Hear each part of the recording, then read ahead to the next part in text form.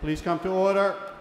The few town meeting members still coming in. We'll wait a few seconds for them to get their clickers, then we'll start. I see the Arlington Minutemen here. Thank you very much for coming in. We'll just be one second.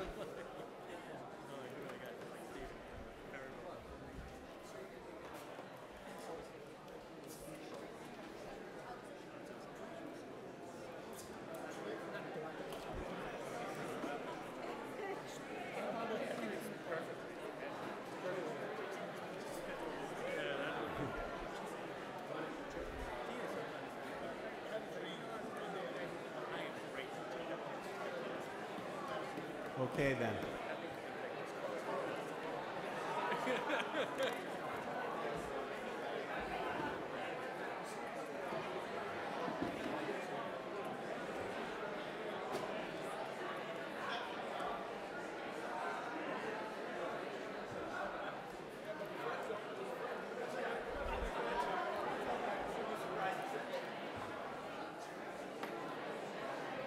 Okay. hmm.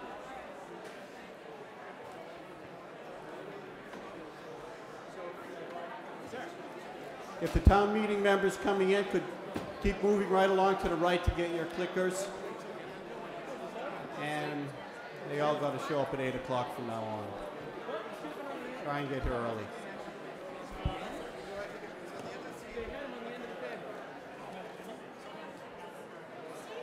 Hi.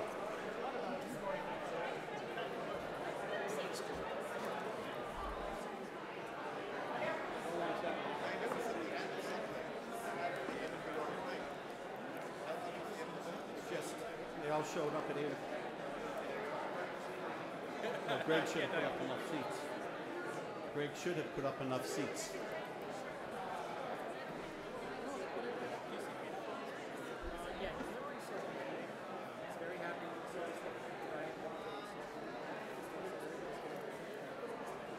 Right then.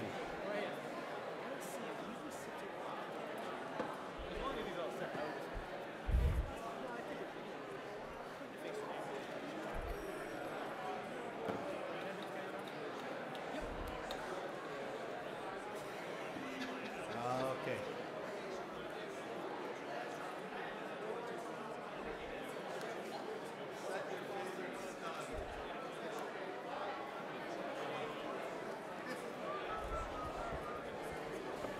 What do you think? Start without it? Show them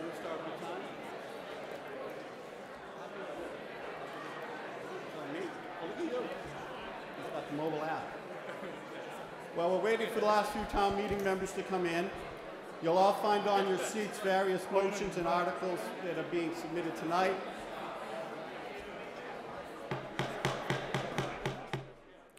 All right, let's clear the center aisle. There's only a couple people left checking in. Let's make room for the Minutemen. Please sit down in the center aisle.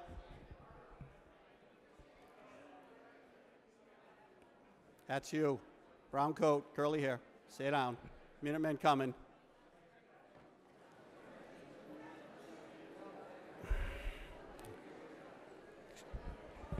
Ms. Goldstein, can you move out of the center aisle? They're coming. The Minutemen are going to march down and knock you over. You got to sit down. Okay, let's clear the center aisle, please. Here come the Arlington Minutemen. The Menotomy Minutemen. We're going to, so go. Go.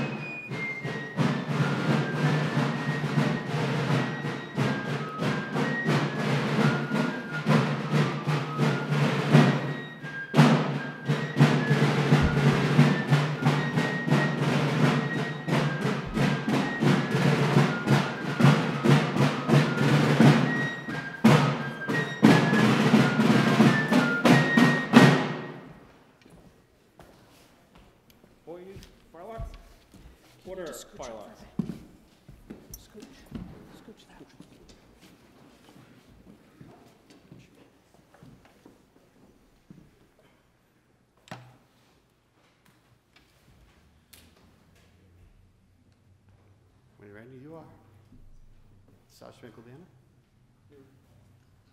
So I'll rise to face the flag, Star Spangled Banner.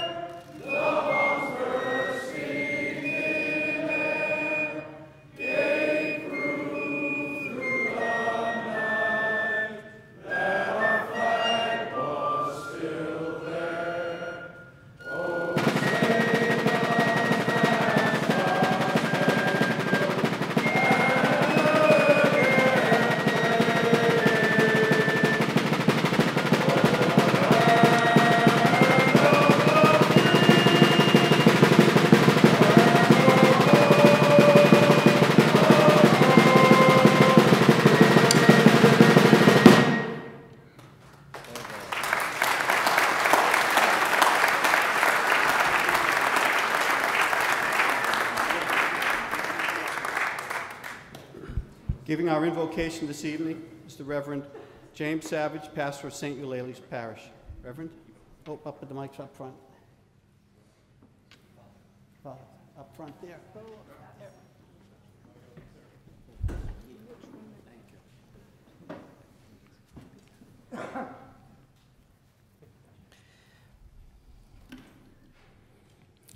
Let us pray.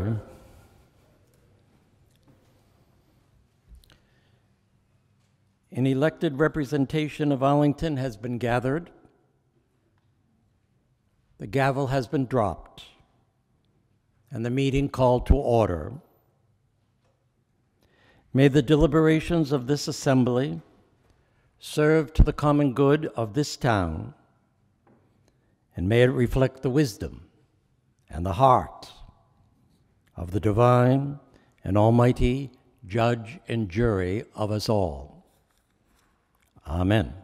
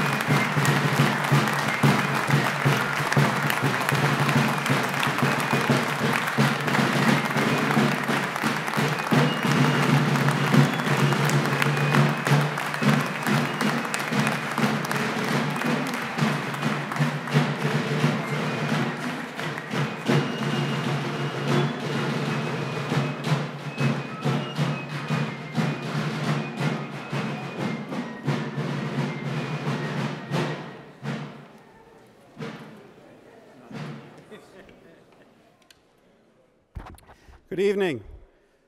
Welcome to the 2015 Annual Town Meeting. This is Arlington's 208th, our first being held in 1807. It's our 76th as a representative town meeting, the first being held in 1937. We're following quite a lot of tradition here. For procedural guidance, we use the town bylaws and town meeting time. As I mentioned in my letter, you can get a copy of town meeting time. Come up and see me at the break. I'll tell you how to order one. Please remember we abide by the 48-hour rule.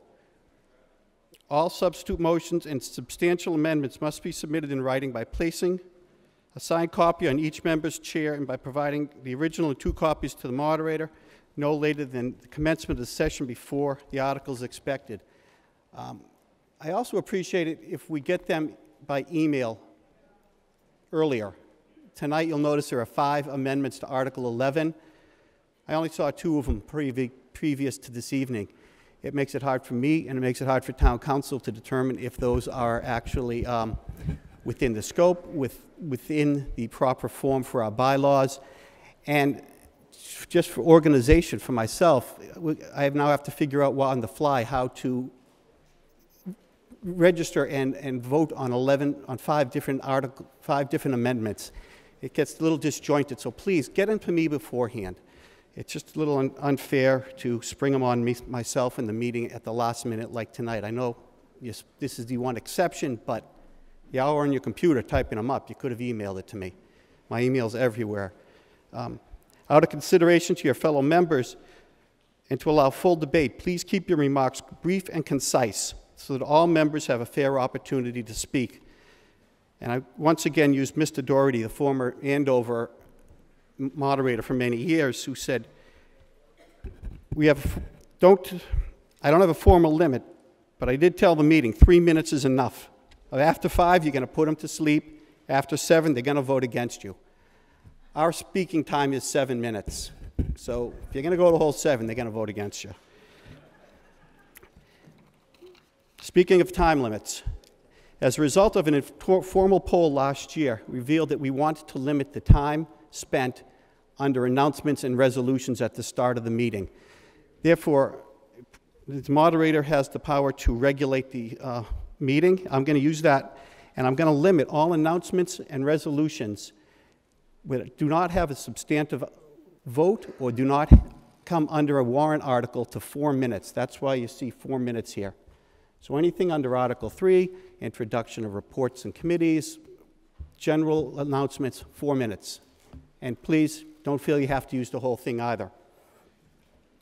Um, we have a new email distribution list. You'll find on your chairs a sheet that looks like this.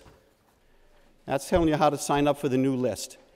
It's a automated list. You go and you sign up once and you get a little email. And we're going to shut the old list down because that's not a town regulated list and we don't have any control over the maintaining it for public records. So we want to shut that list down and it's going to be shut down. So take that piece of paper if you haven't. Um, last I checked, we had about 100, 90 to 100 people had signed up. So for those other folks on the other list, if you want anything, you got to migrate. Um,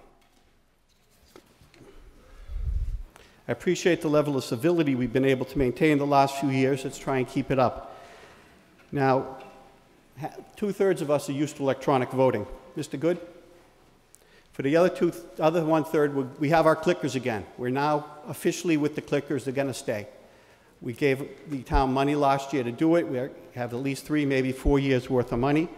So you've all been issued an individually coded handset. You may use no other handset, and don't let anybody use yours. The only keys that we are going to be using on these handsets, like last year, are number one, number two, and number three, right across the top board. Number one, yes, two, no, three, abstain. When we count the votes, we only count the yes, no votes. Those are all that go towards the tally. The, no, the abstentions do not get counted. There is a power button on there. Do not turn it off, ever. It gets put, it gets given to you, turned on. The batteries last for 200 hours or something crazy. If you turn it off, it takes a while to recycle and to talk to the computer again. You could miss a vote. And if you turned it off and you miss a vote, too bad. Um, you're not, you're going to get logged out for that vote. There's nothing we can do about it. I'm not entertaining questions during this. Um, don't give your clicker to anyone else to vote. If you see someone with two or more handsets, let me know right away. Proxy voting is not allowed. Um, you have to be here. You have to vote. When you leave the room, we have buckets. Throw them in the buckets. At, don't take them home. They cost us 75 bucks if you lose it. Um, we didn't lose any last year. Two people brought them home during the meeting. We tracked them down and got them the next day. We, we, they're coded. We know who has which number. We know if you brought it home. Um, the way it's going to work is We'll have our debate. I'll announce we are ready to vote. I'll ask the voting administrator, um, the OTI guys, Mr. Renault, if he's ready to vote. He'll give me the single, signal that he's ready. And the, we're not going to use this clock. Last year I had issues with this. On the 22nd, they have their own clock. When I tell them they're ready to vote and I say vote, a clock will splash up here. We have our 20 seconds. That triggers the computer to start and stop voting. Only vote during the window. One of the issues we found last year was people were voting too soon or too late. So once the clock shows up, then you can start voting. Um, again, use one, two, and three. We're going to take a test vote every evening to make sure our clickers work, which Mr. Look, I forgot your name already. Mr. Renault, are we ready? Yes, so if you want to take a test vote now, just randomly press one, two, or three. So go ahead and, oh, where's our clock, Mr. Renault? Dun, dun, dun. So he's not ready. I haven't got, been given the signal. So go ahead and vote. So you will get, it's a round trip. It goes from your clicker to the base station, back to your clicker, you'll get yes vote received, no vote received. During the 20 seconds, you can change your vote all you want, but it's the last vote that is received is registered. So, did it work? We had 133 yeses, it passed. 35 noes. So can we run through the screen the um, tallies? When we have close votes, or if you doubt the vote and you want to see, five people can arise, 30 people can arise, and you'll see this, as last year. They're by precinct, and you'll see your name. Make sure you got the same vote up there. It should. They tell me a computer is flawless, but I don't know about it. Uh,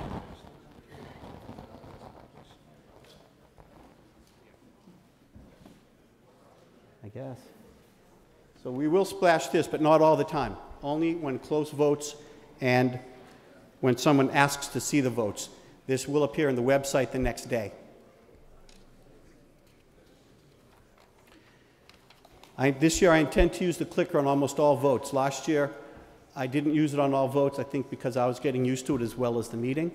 But I intend to use it almost on every single vote this year except for no action votes and the procedural votes at the end that just should whiz right through. Um, if anyone wants to use the clicker and I haven't, five arise, we'll use them. If you have any questions about the clickers, ask any of the kids at the back. Ask Eric Helmuth, who's over there waving at you. We're not allowed to talk to um, Mr. Monroe or his Kyle, his associate. Eric's our interface with them. So that's it for me. Um, if anyone has any questions afterwards, see me at the break. I'll explain what I said. Now, um, annual reports are at the back hall. Uh, if everyone is, take one of those, please. They came out early again this year. Thank you, Mr. Chapdelaine, for making that happen. And we have the tennis club selling us cookies at the break. So, now, do we have any new town meeting members who have yet to be sworn in? Brand new town meeting members just elected. Please rise.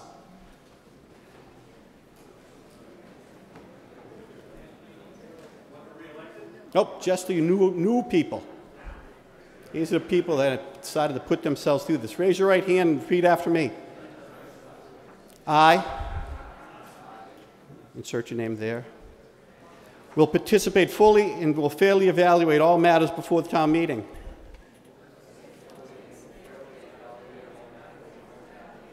And vote in the best interest of the town.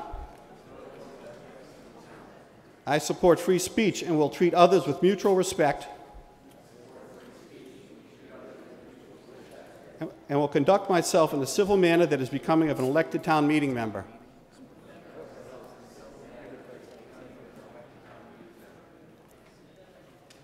I do solemnly swear that I will faithfully and impartially perform the duties incumbent upon me as a town meeting member of the town of Arlington in accordance with the bylaws, Town Manager Act, and the general laws of the Commonwealth, so help me God. And thank you.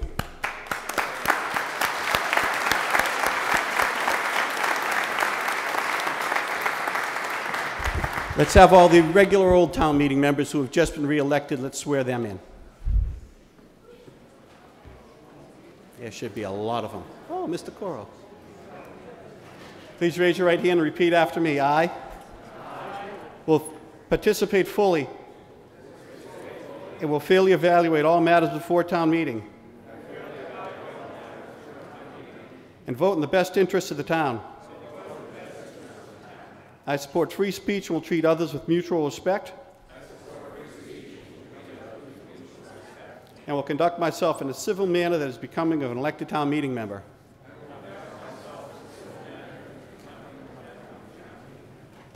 I do solemnly swear that I'll faithfully and impartially perform the duties incumbent upon me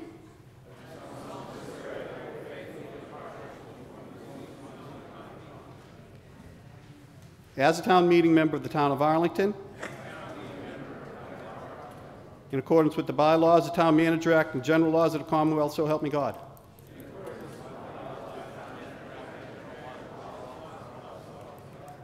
Thank you very much.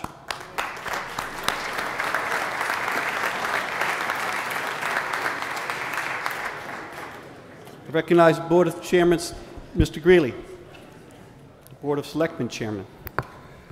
Thank you, Mr. Moderator. It is requested that members of the Board of Selectmen, elected officials of the town, town manager, department heads, staff, superintendent of schools and staff, committees, commissions, boards of the town, Minuteman Regional Vocational Technical School District Committee and Superintendent, members of the Electronic Voting Committee and staff, members of the General Court representing Arlington, and also any consultants who have been retained to work for the town relative to articles to be acted upon by this meeting, and representatives of the news media be permitted to sit within the town meeting enclosure. All in favor? Aye. Opposed? It's so moved. Um, Constable's return. Madam Clerk, do you have reason to believe that this meeting was appropriately called by this Board of Selectmen and that the constable made a return of service on the warrant in accordance with the laws? She signifies yes. Mr. Greeley. Thank you, Mr. Moderator. It is moved that if all the business of the meeting as set forth in the warrant for the annual town meeting is not disposed of at this session, when the meeting adjourns, it adjourns to Wednesday, April 29, 2015, at 8 p.m. All in favor? It's So moved. If we don't finish tonight, we're coming back Wednesday. One more thing. Put them on vibrate, please, or turn them off. I don't want to hear phones ringing and they bother our neighbors. Thank you. Mr. Greeley, Article 2 is now on the table. Uh, Thank you, Mr. Moderator. Since this is an article, the moderator has been kind enough to allow me seven minutes to discuss the state of the town. Since I've done eight, eight others of these, I'm sure you wish you had enforced the four minutes. but if you've heard me talk about Arlington before, you know that I'm one who believes greatly in this town, and especially because of the people of the town. And I believe because we truly are a government of the people, by the people, and for the people, that has made all the difference here in this community. I didn't come up with that, by the way. For us, government of the people and by the people started really pre colonial days when Europeans came over. And for religious freedom, the, the churches became the center of our community. And as that happened, certain civic matters started to uh, happen as well as religious matters. And so, after church services, they started to hold informal town meetings, and they would select an individual who would then go out and, and, investigate that particular matter and come back and report the next week. And thus, we have the starts of town meeting and the Board of Selectmen. Certainly, during the Revolutionary War, we were of the people as we banded together, and Menotomy did more than our fair share of uh, earning our independence from England. 1800s, certainly we saw many more people coming into Arlington as we moved from a farming community to much more of uh, industry and a residential community. Uh, in the 1900s, of course, we have the two world wars and, and again a huge increase in the population. A little while ago, I looked at the annual report from 1952, the first year that we changed the government by the people to become the town manager form of government replicating that which was going on in businesses across the United States, where you would have a board of directors and then a chief executive officer. As we have the board of selectmen and we have the strong town manager, and we've got a very good one in Mr. Adam Chapdelaine. It also was the first year my father served on the Arlington Board of Selectmen. Uh, when it went from three members to five, he had been a member of the Board of Public uh, Works, which was subsumed by the Board of Selectmen. And in 1952, the population of Arlington was approximately 43,000 people. I'm sure most of you are aware that's approximately our population today. But in 1952, they were concerned about the population explosion which was going to happen. And so they were trying to, to figure out how are we going to support 100,000 residents by the year 2000. And so that town meeting by the people and the Board of Selectmen dealt with zoning issues to try and increase apartment building in two and three family homes. this year, uh, all of us today are going to look at 46 warrant articles. Not all of them today, but it wouldn't be bad if we were able to do that, right? And I find it an interesting dichotomy that we do have the lowest number of warrant articles. We also had the lowest turnout at this past election. Now, those of us in office believe it's because we're doing such a spectacular job. People feel no need to change. But on the same, on the same issue, we have 252 of you sitting out there who are willing to serve and who are willing to work and be a government for the people of the town of Arlington. You know, uh, we also have more than 100 boards and commissions throughout the town of Arlington. And all of them, almost entirely, are unpaid volunteer positions. That certainly, in my opinion, is a government of the people. So, on those 46 articles, we're going to be dealing with things like budgets, which they dealt with back in pre colonial days, as well as they'll be dealing with many years from today. We'll be looking at a master plan, which has taken an audit of where we are and maybe some of the things we need to do to keep going. We're going to be voting on a committee of the people when the um, people, the voters of Arlington, supported the Community Preservation Act, putting together a committee there to help us preserve our history, our open space, our recreation, and our housing. In schools, uh, I'm no expert there, but it is by far the most important element that many of us will vote on and understanding education is a journey for all Arlington residents, all of the people in this town, as they deal with the bulging populations and rehabbing of facilities like the Stratton School, like Arlington High School, like the Minuteman Regional Vocational School. We're also going to possibly look at some attempts at government restructuring. Uh, so many of the issues that we have dealt with in the past, we continue to deal with as we go forward as one people. So I'd like you to take a moment now, and I want you each to think about 50 years from today. What is going to be the greatest challenge facing that town meeting? So I want you to think about that for 10 seconds. 50 years from today, in the year 2065, I will not still be on the Board of Selectmen at that point in time. yeah, some really might be. God, God help us, right? But take 10 seconds, 10 seconds. Think about, in your opinion, what will be the greatest challenge facing the people of Arlington in this town meeting 50 years from today? And now I want you to turn to your neighbors and share it. Talk to your neighbors, everybody. Go ahead. Tell them what you think it's going to be, and then hear what they think it's going to be.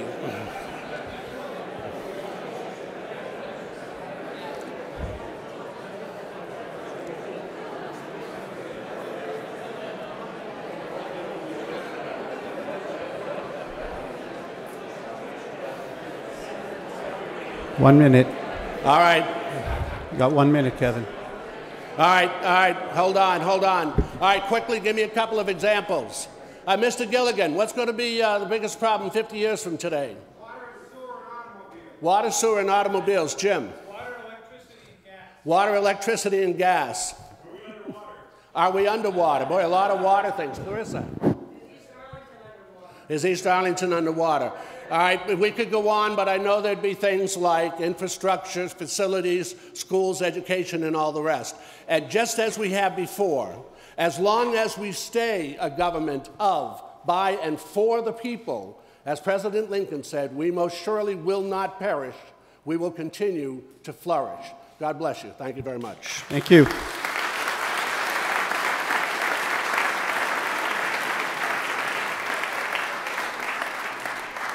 I went over by seven seconds. Next up, Mr. Moderator, with your permission, announcements. Yes. Sir, okay. So we have some very special guests with us up on the balcony here today. As you know, for 30 years we have had a sister city relationship with Nagaoka Kyo in Japan. And for the last 11 years, Sue, the student exchange, and for the last 11 years, we have exchanged students between the two cities.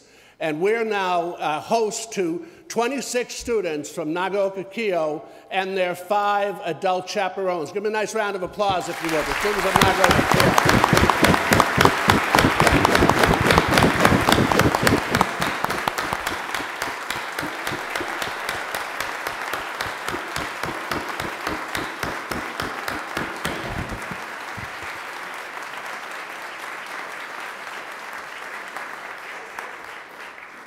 Uh, thank you very much. And through you, Mr. Moderator, with your permission, to say a few words on behalf of Nagaoka Kyo, the head chaperone and an educational consultant from Nagaoka Kyo, please welcome Mr. Oki San. Mr. Oki.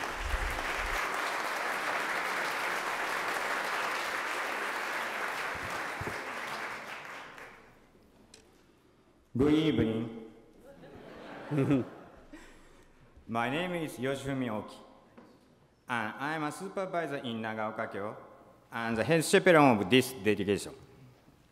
On behalf of Nagaoka City, thank you for your warm welcome. We are very happy to be here. Thank you again for hosting our students. We really appreciate it. Thank you so much. Thank you.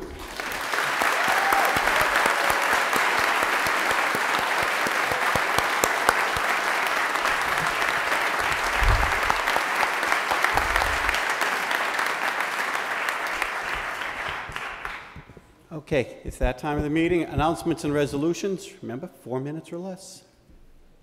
Sir. Thank you, Mr. Moderator. Gordon Jameson, Precinct 12, and co-chair of the Arlington Recycling Committee.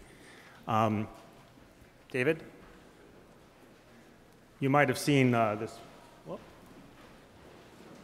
Oh, something will pop up there soon. I just wanted to let you know that upstairs in, in the uh, hallway next to the Selectmen's hearing room, there's a uh, photo, photographic exhibit called Recycled Beauty by uh, one of the members of the, a very talented photographer and member of the Recycling Committee, Ellen Calloway.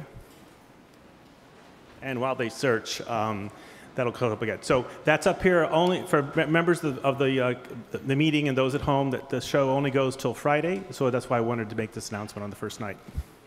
There, there we go. That's what you. It's it's a wonderful exhibit right upstairs. Enjoy. Thank you. Anyone else? Ma'am in the back? Oh, John, Mr. Marr.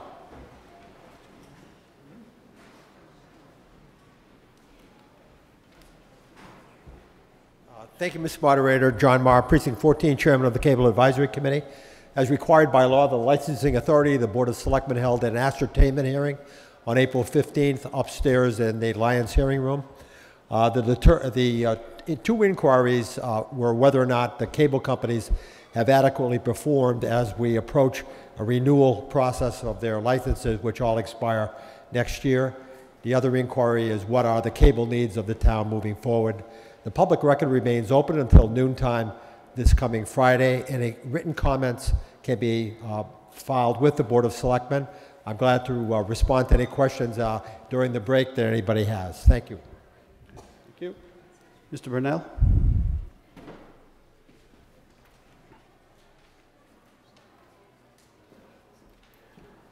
Good evening. Uh, Andrew Bunnell, Chair of the Redevelopment Board here in Arlington. You've each been given a copy of the Arlington Master Plan this evening. If you decide at some point you've done with it or don't want it, uh, we'd appreciate it if you would use one of the bins by our table and at each of the corners of the, uh, the room so that we can reuse that rather than recycle it. Thank you. And uh, we'll also be giving you copies of the report of the Arlington Redevelopment Board this evening. Thank you. Thank you.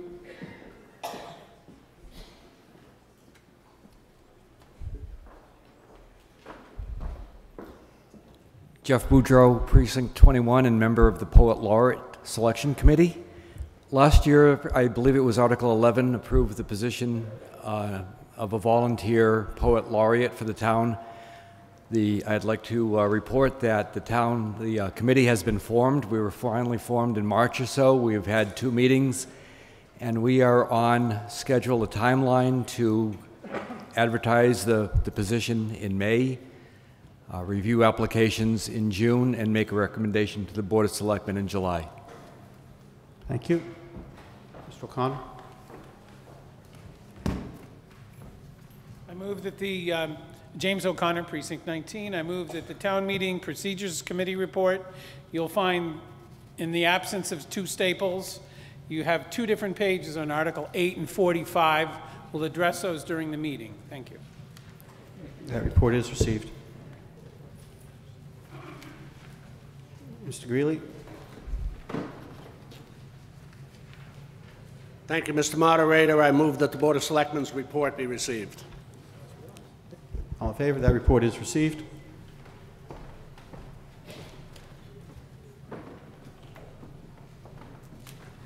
Mr. Foskett? Charles Foskett, uh, Precinct 8.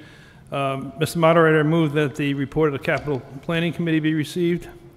And um, I'd like to notify the meeting that on Wednesday night, I'm going to ask that the uh, capital planning article be taken out of order if it suits the meeting uh, due to a uh, personal conflict that I have. Okay.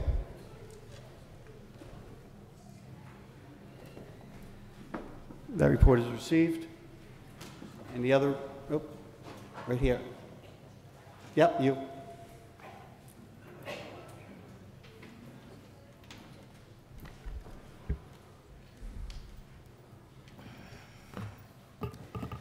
Good evening. I'm Sherry Barron, Precinct 7, and a member of the Arlington Human Rights Commission for 21 years since its inception, since it was formed in this room. In the interest of time, and I think much to the joy of Mr. Leone, I'm not going to deliver our report. You can find it in the annual report on page 61. But since there are two articles relating to the Human Rights Commission tonight, we thought we'd give you a look at some of the things that we've accomplished can't hear me? Better? Oh. Since there are two articles relating to the Human Rights Commission tonight on the warrant, we thought we would give you a look at what we've accomplished during the past six years, which is a little less than a third of our existence. And there's a pile of pink papers in the back, with, which is an information sheet. We invite you to take one as you leave. If we run out or if you forget, we'll have them here on Wednesday.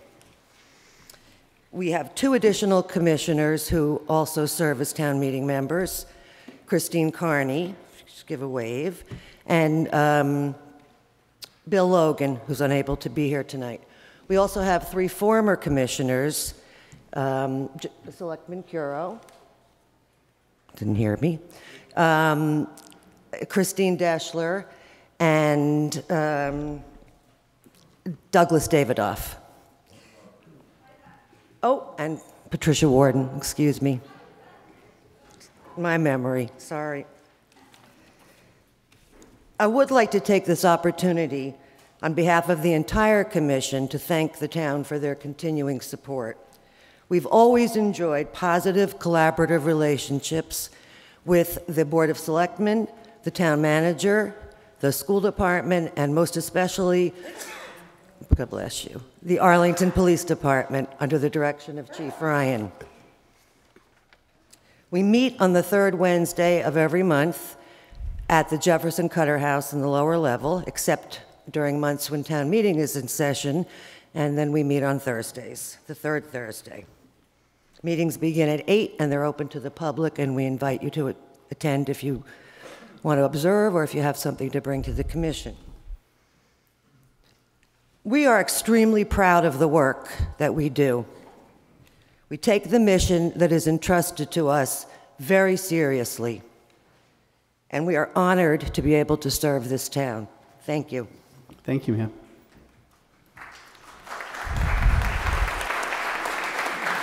Mr. Leonard, did you have a report or announcement?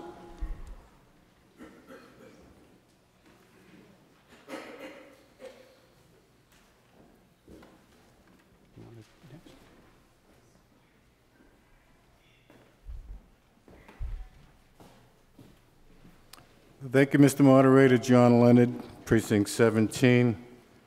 Mr. Moderator, this is about the fifth time that I have approached town meeting and asked why is the Maintenance Study Committee still on the reports of committee when the Maintenance Study Committee has not had a meeting in 13 years?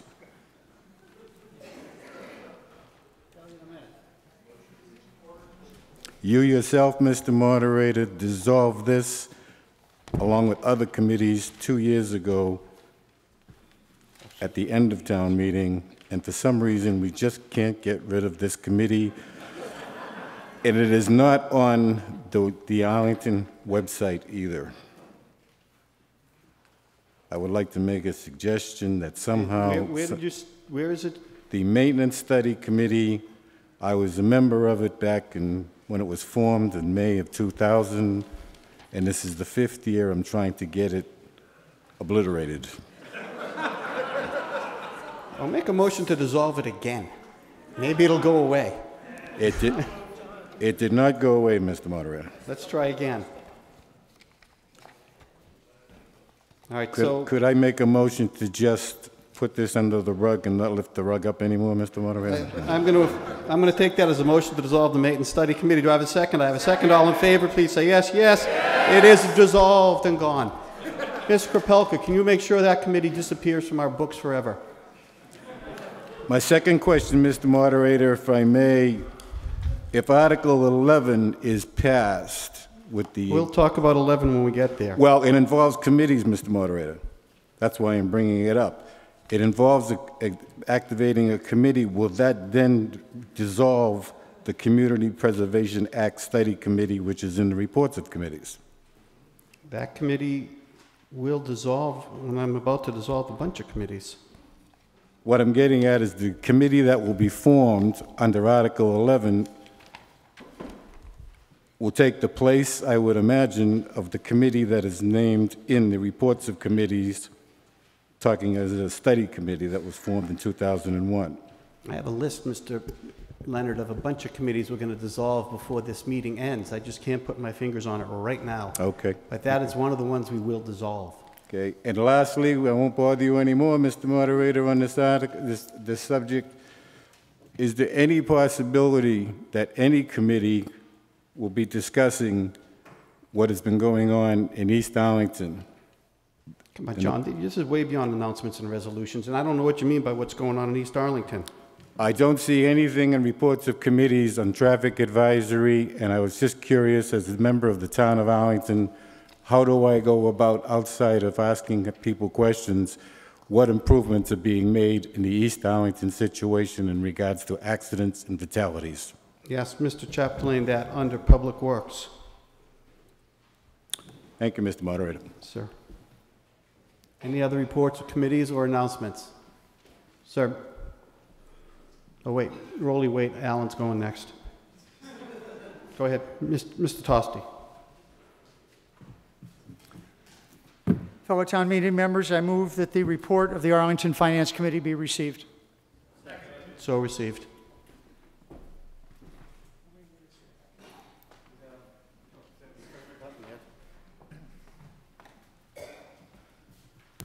Um, I'd like to give the report of the uh, Arlington Finance Committee now, and to do that, I'd request 10 minutes. I don't think I'll use it, but I'd like that permission to have that. Okay, that's the prerogative of the meetings. Mr. Tosti, you have 10 minutes.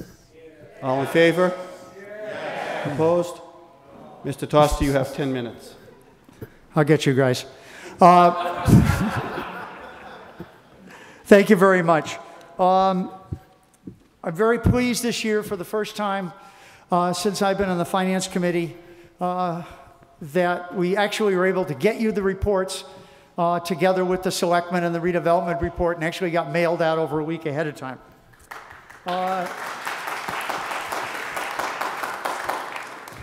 The stars were in alignment. Uh, Marie Krepelka held up the postman until we can get it done. So I can't guarantee we'll do it in the future every time, but we're going to try. I'd like to go through a few pages on the Finance Committee if you have the report right here. By the way, you'll notice that the Selectmen and the Finance Committee coordinate a lot of things. Unfortunately, we didn't coordinate, so they're both blue. Ours is a different shade of blue, so. Um, okay, uh, page four is the report of the uh, Chair of the Finance Committee. I think you can read through that yourself. Um, please let me know if you have any questions. I think it gives a reasonable summary of the various issues that we have. On page 18,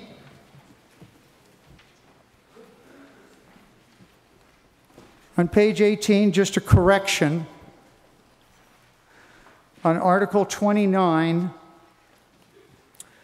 uh, it lists a whole bunch of committees and commissions which we appropriated money for. And under H, Vision 2020, $3,000. There is in parentheses a nine to eight vote. That is incorrect. It was unanimous vote. It got carried over from a prior year. So again, on Article 29, that was a unanimous vote for Vision 2020 appropriation. We can make that change administratively. Thank you. So just cross out the eight and nine in your books. Thank you. Okay. On uh, B1, the moderator asked that we, ex- we make the budgets bigger. So uh, my vice chair, who was working on this, uh, bumped them up a couple. We probably added another page, but hopefully this is a little bit more readable for you. It is. I can actually see it. Thank you. You're welcome. Now, um, on C1, C1, this is the summary, basically the financial summary for the whole budgets, appropriations, everything. And you'll see that on the first column is all your revenues broken out by property, school, uh, reimbursements, local receipts, and, and local aid. The middle is all the appropriations. The budgets are up top. And then all of the individual warrant articles, uh, the enterprise funds, and then a summary of all the revenues and a summary of all the expenditures. Um, so that gives you a good summary of, of what we're looking at. What I'd like to spend a few minutes, though, is on the next pa uh, page, which is D1. And the deputy town manager made a, a good try to fit it all in, so this is also readable. This is a little smaller, but it's a lot of years and a lot of data. This is our long-term plan. This is worked on for many months uh, on the Long Range Planning Committee um, and is really the heart and soul of our financial plan. Uh, if you look at it, you'll see that the revenues are on top and then projected out, uh, and then the appropriations in the middle section, and then the reserve fund balances, and then a couple footnotes down below.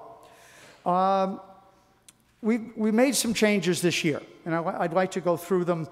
If you look at last year's report, and you don't have to take it out now, but if you compare it to last year's report, uh, last year we had a small deficit in fiscal 2000, uh, 2019, and then we had a $12.8 million deficit in fiscal 2020.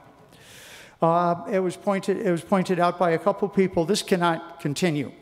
We, have got to bring these deficits down. We've got to bring them to at least within a, a, a reasonable shot of uh, being able to um, take care of them, pass an override, cut the budgets, whatever we're going to do.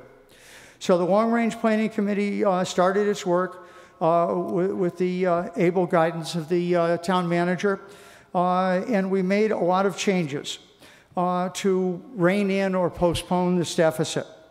the first one is we allowed for slightly higher growth on our local receipts. Instead of going up at 50,000, it's a small change, but you know, we, we allowed it to go up at 75,000. We looked back at the, what it had been doing, and this was more reasonable, so we made that change. Uh, we revisited free cash. We had been using a set amount of a million five. Uh, so we went back and did a 10 year average of free cash. Uh, and we put that in. So it's a little bit higher, but it's, it's uh, uh, probably also more accurate. And then with our health insurance, uh, we have been carrying 7% right along. We went back. We looked at a 10 year average of the health insurance increases in the GIC, which is the Group Insurance Commission for the state, which we now are part of. And so we modified it to go along with what that averages will be. Um, now, this was two things. It closed the deficit a little bit, but it also made it less conservative. So now, you know, a little bit more vulnerable if there's a recession, uh, if, if things start coming back down, uh, motor vehicle excise, state aid, things like that. So there's always a, a balance in these things. But we needed to reduce growth, especially we needed to reduce our spending growth. So we started to look at this. Uh, the town manager, the first part, met along with representatives from the Finance Committee, met with the Arlington Retirement Board, um, and they uh, agreed to decrease their usual 6% increase down to 5.5%. Uh, now, the Arlington Retirement Board has a responsibility under state law to have our, our pension system fully funded. I think it's by 2040. And uh, so we're very thankful that they were cooperative and, and uh, uh, agreed to reduce it up through fisc uh, fiscal 2019, I believe. The town manager uh, uh, reduced his own budgets, and you'll see that the net, uh, net town budgets. So he reduced his own budget to three and a quarter percent for fiscal 16, and then from uh, fiscal 17 on, he reduced it down to 3%. The schools have been stayed the same for three and a half percent for next fiscal year, went to three and a quarter, and down to 3% from then on. Now, in that line, keep in mind that the schools are still being allowed to grow their 10 year average of 7% on their special education and still have a provision where additional money is allowed for increased school enrollment. Um, so you'll see that the school budgets uh, are going up 5.61%, so over 5% all the way through. Um, now, all of these steps have eliminated the deficits in fiscal 19 and eliminated the deficit in fiscal 20 and reduced the magnitude in fiscal 21. Um, and I think this has been a big change, and we ask for your support on these budgets, therefore. But we still have a lot of challenges ahead of us. Um, we still have Arlington High School that needs to be renovated. We still have Minuteman, which needs a renovation there. Um, so we've still got many challenges, and we're asking you support going forward. At this point, there's a lot of information here, and I, I you only spent a few minutes to go through it. We're available for questions, and all of our Finance Committee members here, and there's several that couldn't be here tonight, but I'd like to introduce them if they could just stand briefly. Uh, from Precinct, representing Precinct 21, John Deist, for here. Hey, Precinct, wait until the end even though John likes it, but you know. Uh, precinct two is Stephen DeCourcy. There, precinct three, Al Tosti, myself. Precinct five, Mary Margaret Franklemont in the back. Uh, precinct six, Carolyn White, also in the back there. Uh, precinct seven, Jonathan Wallach, I don't think could stay. Precinct eight, at the head table, Charlie Foskett. Precinct nine, Brian Beck, right here. Uh, Precinct 10, Peter Howard, over here on the right, or my right. Uh, Precinct 11, Tom Cacavera, okay, in the back. Precinct 12, Ken Simmons, okay, also on the back. Precinct 13, Paul Bear, right here. Precinct 14, at the head table, Alan Jones. And Precinct 15, Richard Fanning. Precinct 16, Bill Keller, wasn't able to make it today. Uh, Precinct 17, Grant Gibeon. Precinct 18, Robert Devate. Okay, in the back here. Precinct 19, Christine Deshler. Okay, uh, Precinct 20, Dean Carman. And Precinct 21, Dave McKenna. Okay, I'd like to thank all of them for their uh, tremendous amount of work they've done, and please don't hesitate to ask them questions going forward. Thank you.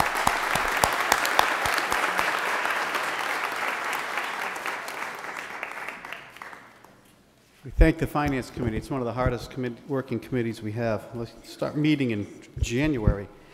Any other reports or announcements? Mr. Chaput.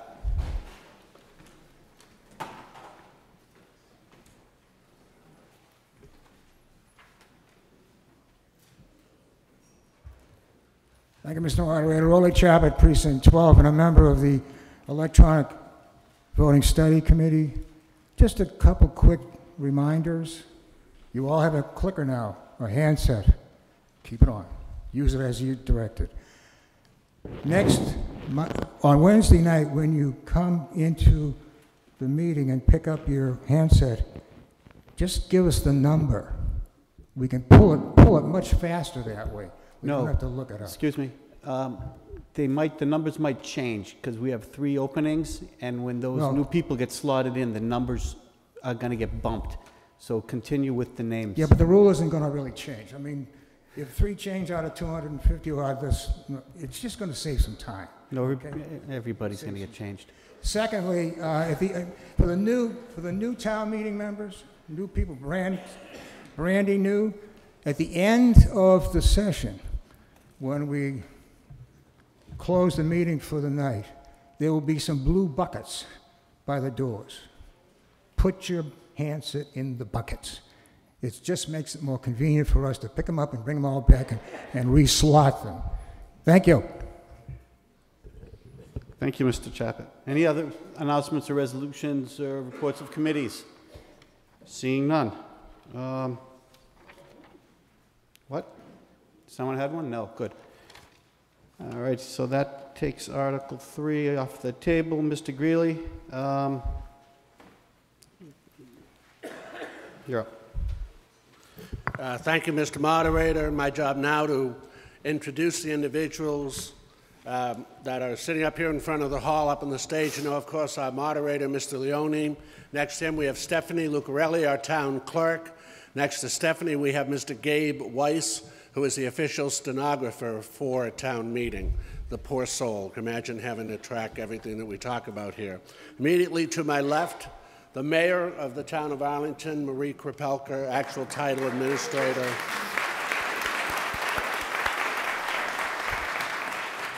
And I, I would ask you now to hold your applause. I know she deserves it, though.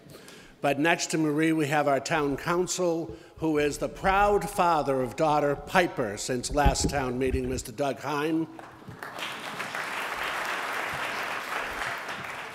If you would save your applause, please, until the end. As I get to the end of this table, all of my department heads are going to come up here and introduce themselves to you.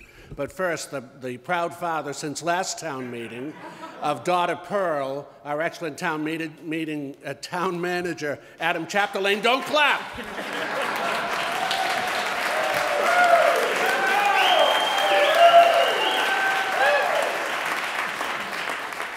Andrew Flanagan. No.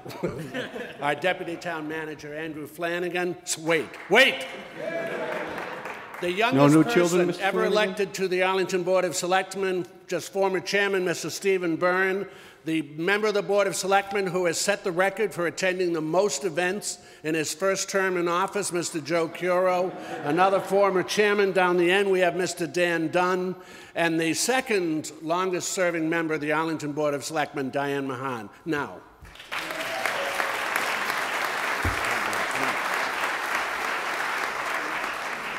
and here are your department heads.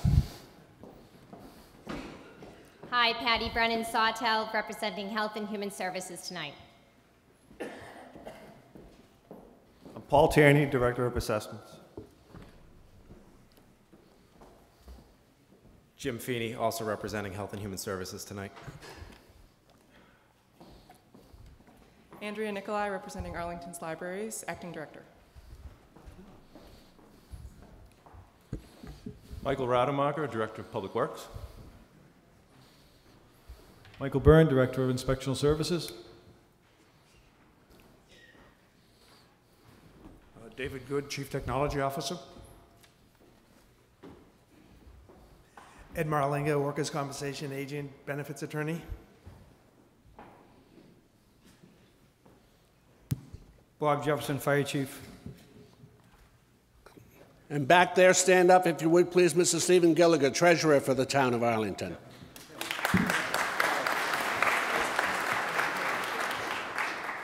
Oh, oh, Shumi, uh, we have, I'll do it, Chief Fred Ryan, the Chief of the Police Department.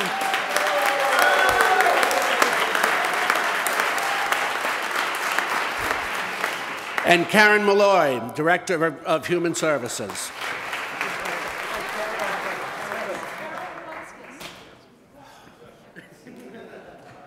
Who haven't I introduced in this? In this, Carol Kowalski, our director of planning. I know, but the redevelopment board was going to get up themselves. That's why I didn't. So anyhow, our director of planning and development, Carol Kowalski.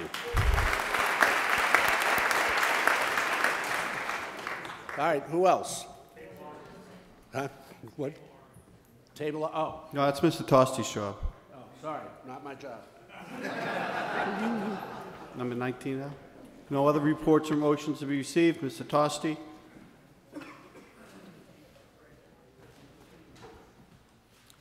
Um, In my rush to uh, finish, I forgot to introduce Gloria Turkle, our Executive Secretary.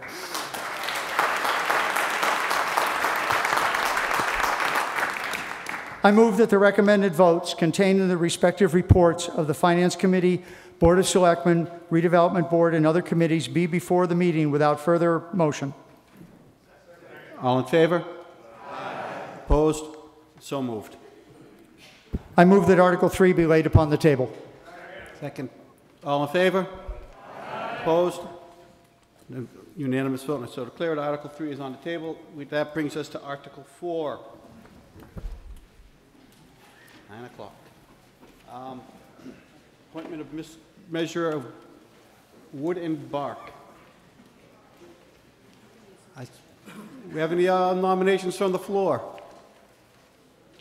Seeing none, I direct the clerk to enter one vote for Miss Elsie Fiore as our measure of wood and bark. All in favor, please say yes. Yes. Opposed? Miss Fiore, you are once again our measure of wood and bark. Would you like to say anything?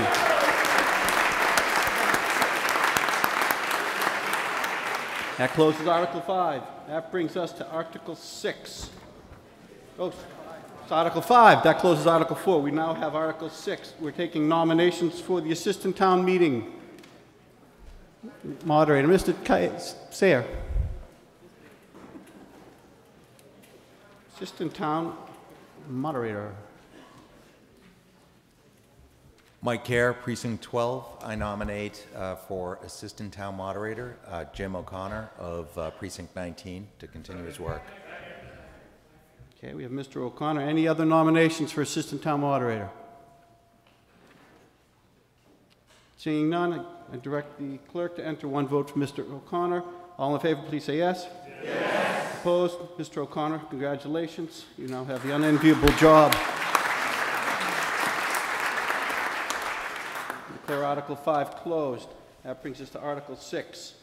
We have before us the recommended vote of the redevelopment board for no action. Mr. Ruderman.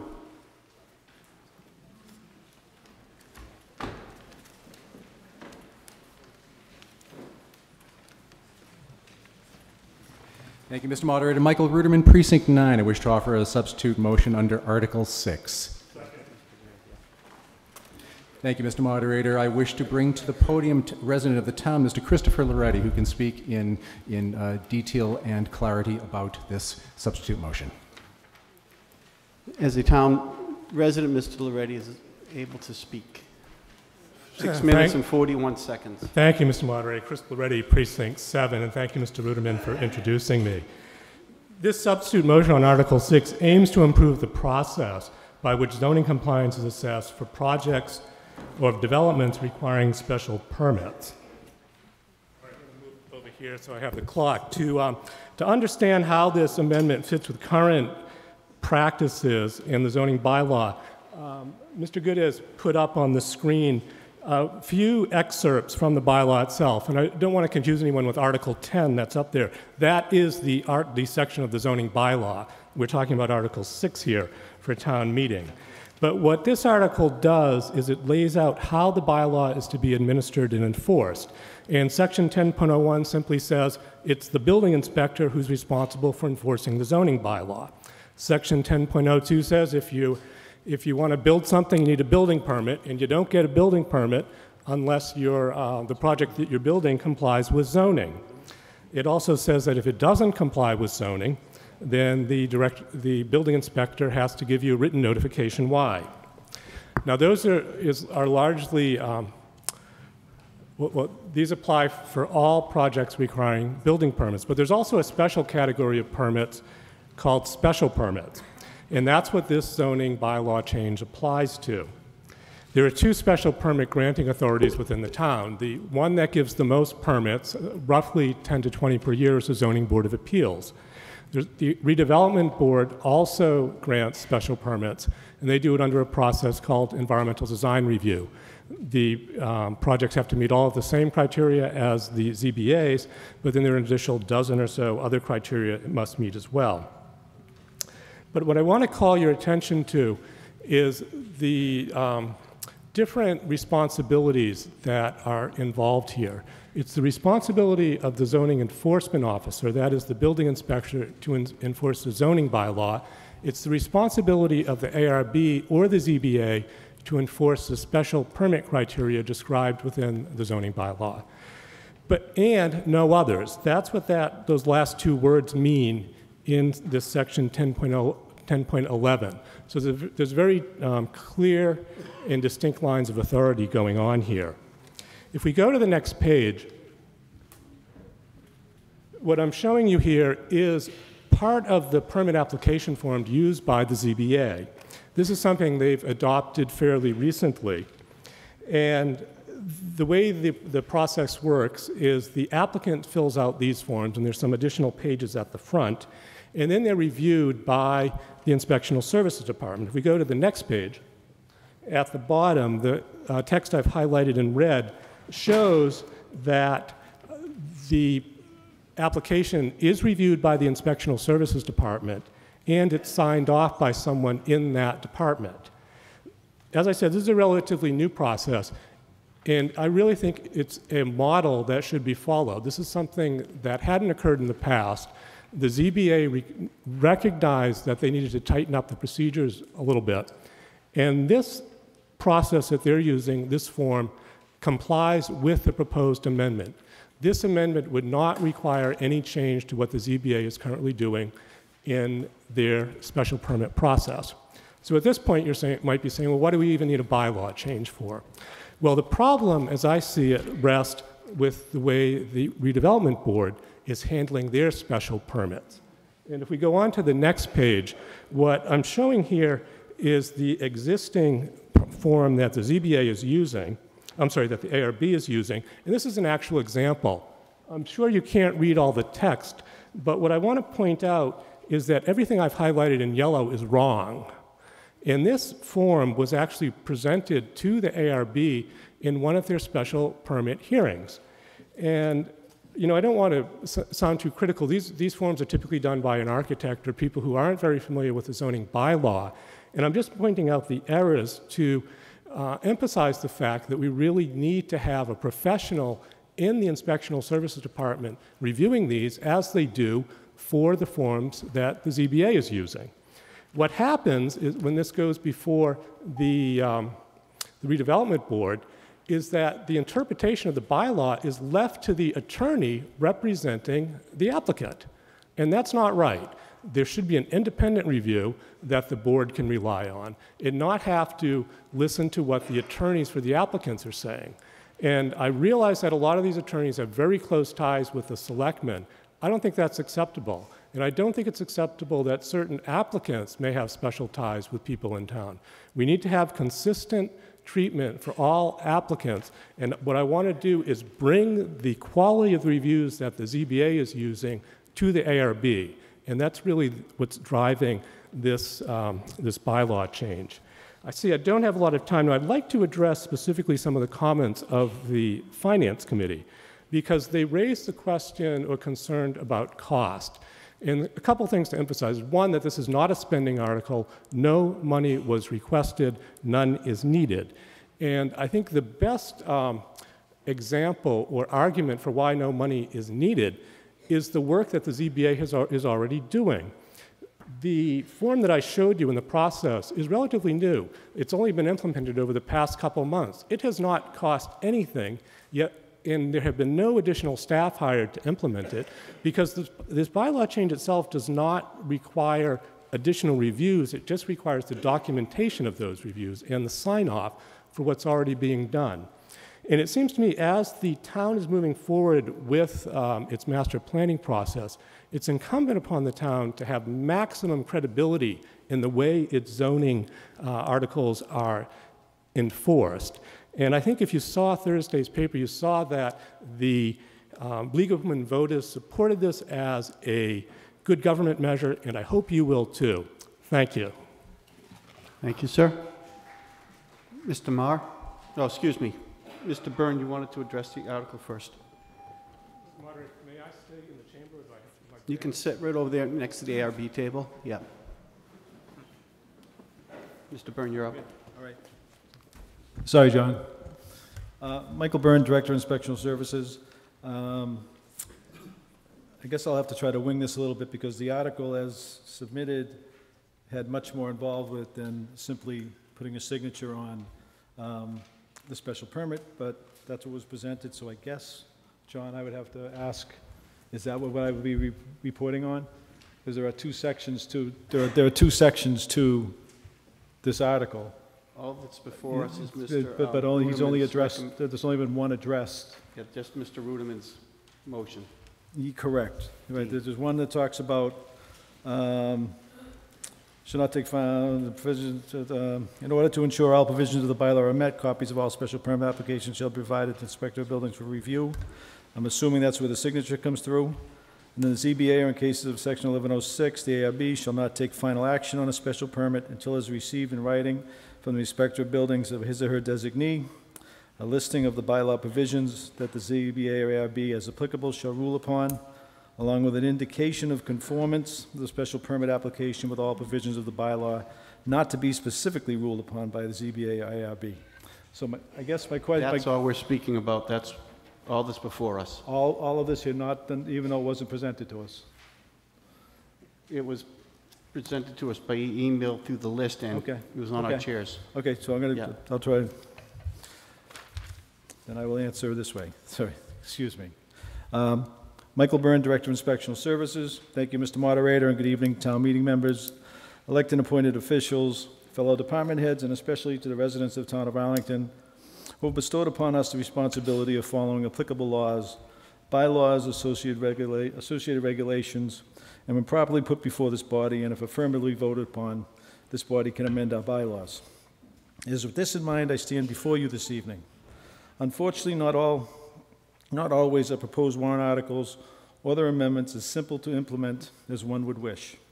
In this particular case, there are several obstacles with the implementation of Article 6, most important being that Mass General Law, Chapter 143, and 780 CMR, the Mass State Building Code, Chapters 104.1 and 104.7, which I believe are up on the board now, set forth the specific duties and requirements of the building inspector, including record-keeping process, and even gives us power to waive permit requirements.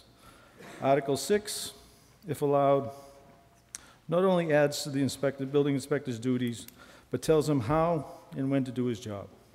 The Board of Building Regulations and Standards and State Inspector's Office have stated in previous situations, but also in this specific situation, have stated this type of change must be pursued through the building code amendment process at the state level where the inspector's duties are promulgated. Thus, if this article were to pass this evening, it very well would be seen as at the state level to be interfering with the statutorily defined duties of the building inspector as 780 CMR 101.4 and oh 105.312 indicate, which brings the zoning into the building code. I've been asked if the language such as that in Article 6 were to come into effect, what burden and cost would the Inspectional Services Department have to bear? In short, with a staff of four inspectors and 1.25 administrative staff, during 2014, our department issued a total of 5,907 permits, 2,700 of which were building permit related, and we performed an estimated 18,000 field inspections and probably 8,000 plan reviews. Now think of that for four, for four inspectors and one and a half, one and a quarter staff. So far this year, as of this morning, there's been eight applications for special permit hearings. As we are one-third of the way through the year, we can reasonably anticipate 24 such hearings. I realize that the article, the language of Article 6 seems innocuous, but, but, but, one must understand, in, in order for inspectional services to not only give a listing of the provisions of the bylaw to be ruled upon, now this is the section that was not addressed a few moments ago, um, not only give a listing of the provisions of the bylaw to be ruled upon, which is already part of the special permit application, we would have to give an indication of conformance with any other provisions of the bylaw. Now, I think we're rolling the, we'll be rolling the zoning bylaw if we haven't already, um, to specifically ruled upon by the ZBA or ARB. Well, just the zoning bylaw has 12 articles, 106 sections, and it's on 127 pages. Chapter 48 of the Mass General, the, the, the State Zoning Enabling Act alone has 17 sections and probably and close to another 100 and something pages. Um, and other reference regulations in Chapter 40A in the zoning bylaw include the state building code, mass wetland protection regulations, DEP regulations, firm firm maps, etc. It would be my best estimate for the inspectional services to indicate conformance with all of the above for each special permit. We should anticipate an additional 1.5 to to 2.0 full-time employees. One statement that stuck with me during the process was the question the Zoning Board of Appeals asked when this article was brought before them by the proponent. After stating they had no issues with receiving information from the Special Services, until they stated, why try to fix a problem we don't have? I'd like to conclude that statement, that State Building Inspector Ron Wetmore was hoping to be here tonight, but he did forward his email for any other questions by town meeting members. Um, I hope I've answered any questions, but obviously I stand for any questions uh, by anybody. Thank you. Thank you, sir. Mr. Maher?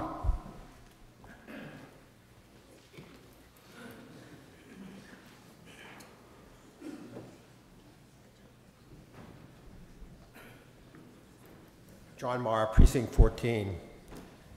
I found a lot of bad ideas have a certain surface appeal, and this certainly is not an exception.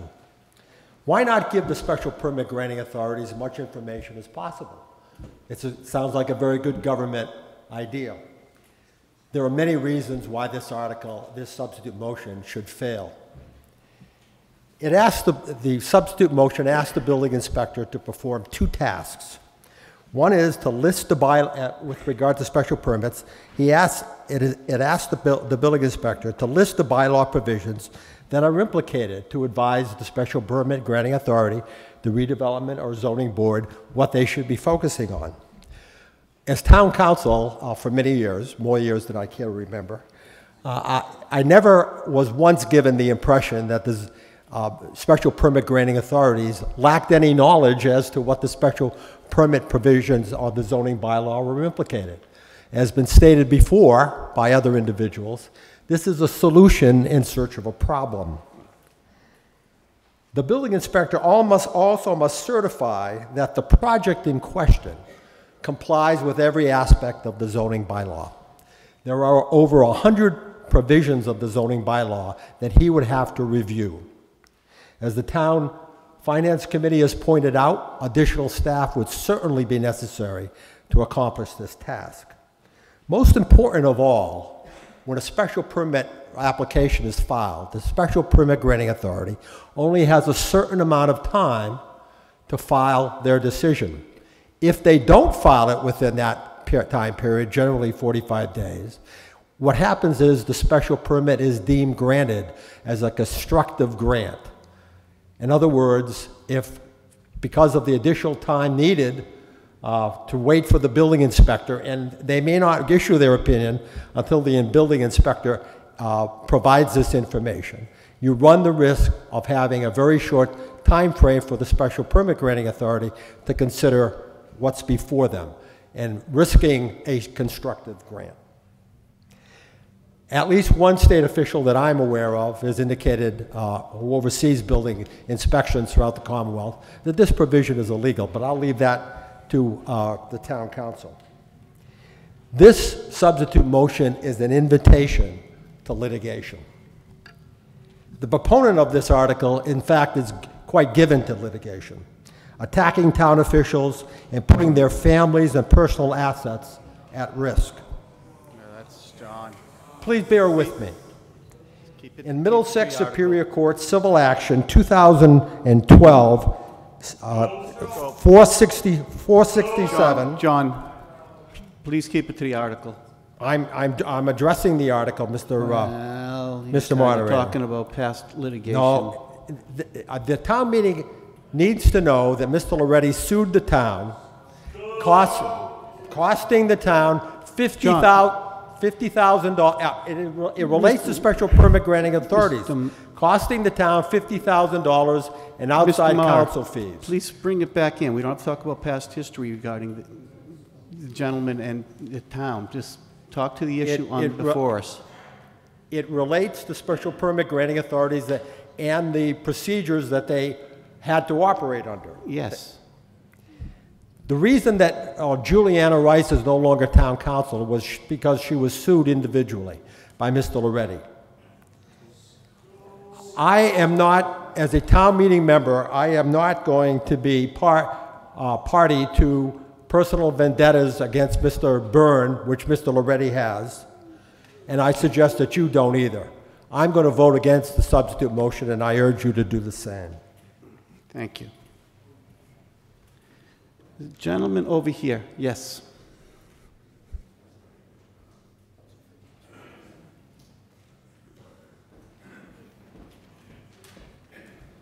Uh, Ryan Farrar, Precinct 4.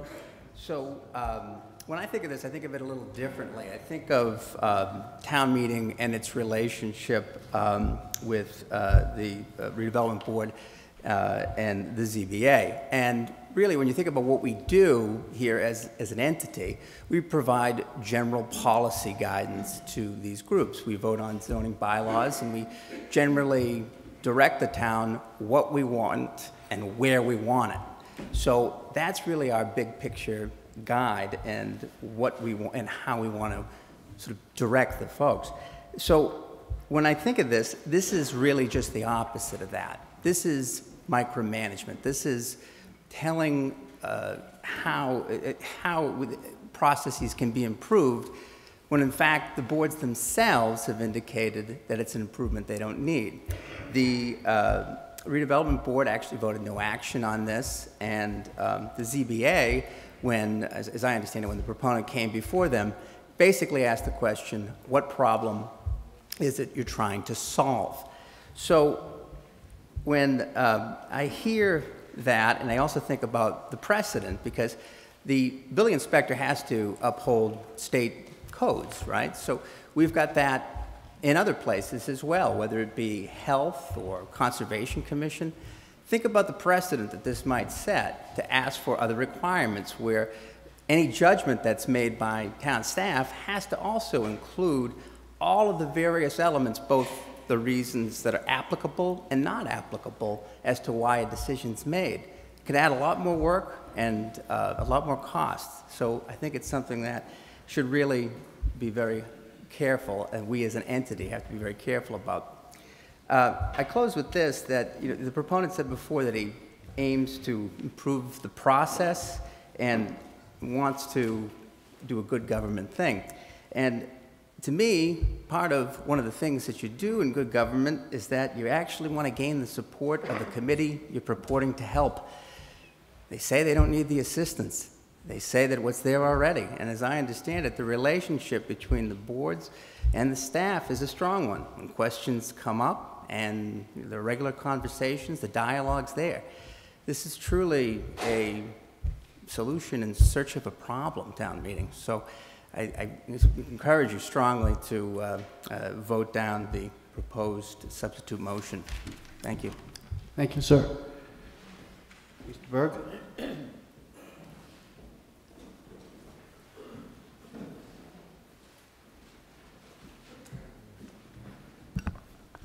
Thank you, Mr. Moderator. Paul Bayer, Precinct 13, and a member of the Finance Committee and a member of the subcommittee of the Finance Committee that looks at the building inspector's um, budget. Um, the first thing the proponent was saying that there was no financial um, implication of this um, uh, substitute motion. Uh, When we started our uh, Finance Committee process this year, we asked the proponent to come in and talk to us about it. Um, As it was originally expressed in the warrant, the article was very broad and implied that, that the amount of work that would be required of the Inspectional Services Department to satisfy this was, was really much greater than what was um, presented here. Um, the, the proponent um, declined to come and spoke with us, speak with us, so we had really no choice but to um, uh, vote no action, or vote to support the redevelopment board, vote no action, because we just didn't know what was really going to be involved in this article. Um, As you see, the, the Finance Committee was not unanimous, and the reason is not that there were five people who believed that this should go through, but rather that there were five people who believed that either we needed more information or that it was not actually going to involve any financial um, implications, so it was um, voted down. So um, I ho- hope you will agree with the uh, redevelopment board and the finance committee and uh, vote no action on this article. Thank you, Mr. Bayer. It's 9:23, let's take our seven-minute break, and we'll come back and we'll continue. Yeah, oh, what do you want, 10? Okay. Yeah. So, then, uh, next time there's an alcohol, right, that comes up, you know, the licenses, someone should point out that Mr. Mata was arrested for drunk That's why he's, uh, becoming town council. So, the last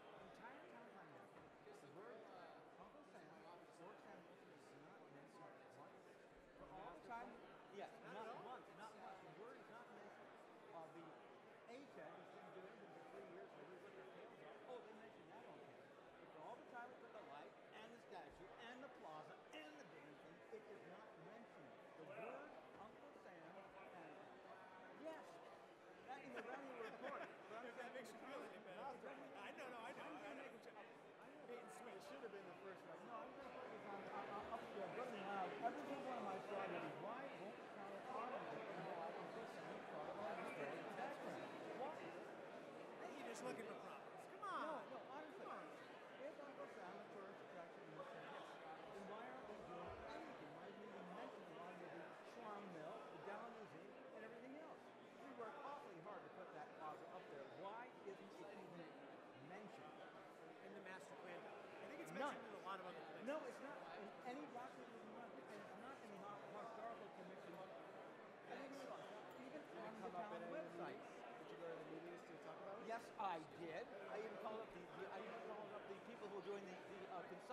KG, like, yeah. where is it? Why didn't they give you the material? That's the responsibility of our government to give the consent. And I said, we've worked for four years, five years, just because Alan said, oh, he's just a war profiteer. I did taking the journey back from Carson into a real tourist attraction. I need a little bit of support, guys. What am I supposed to do? You can get up and say that. I, I think, I think I'm going to ask you personally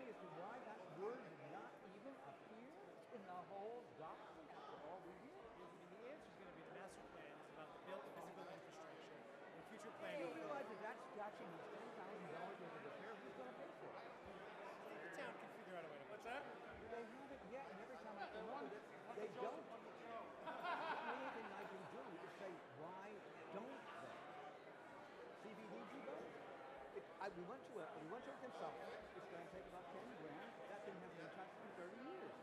Who's responsible? Okay, what part of the town?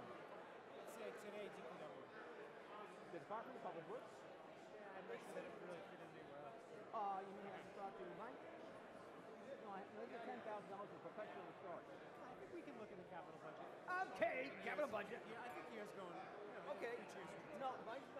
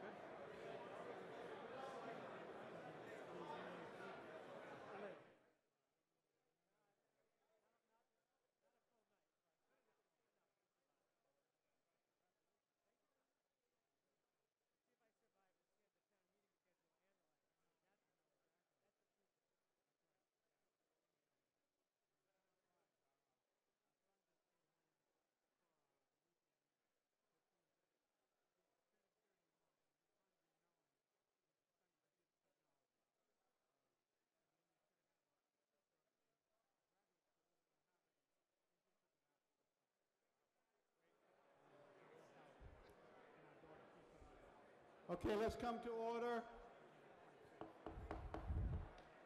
flies. See you, Stu. How you doing? Back in action?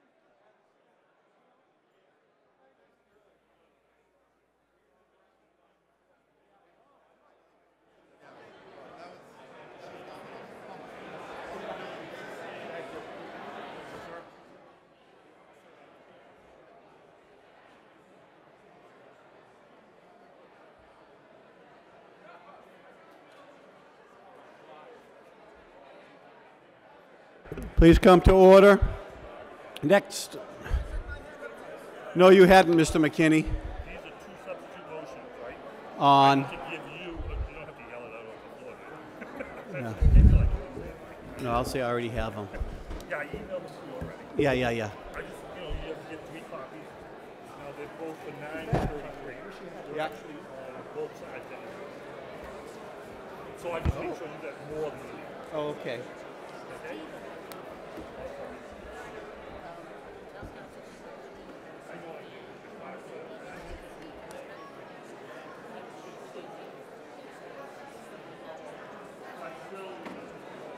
Yeah.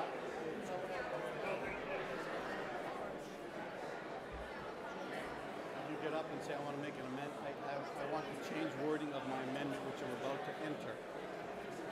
And, um, tell them what it is. Thanks. I don't really care. O- Okay. Mr. Harrington, you're next on the list. Yep. You gotta calm them down first. Yeah, yeah. Mr. Harrington has the floor. Please be quiet. Sit down. We're going.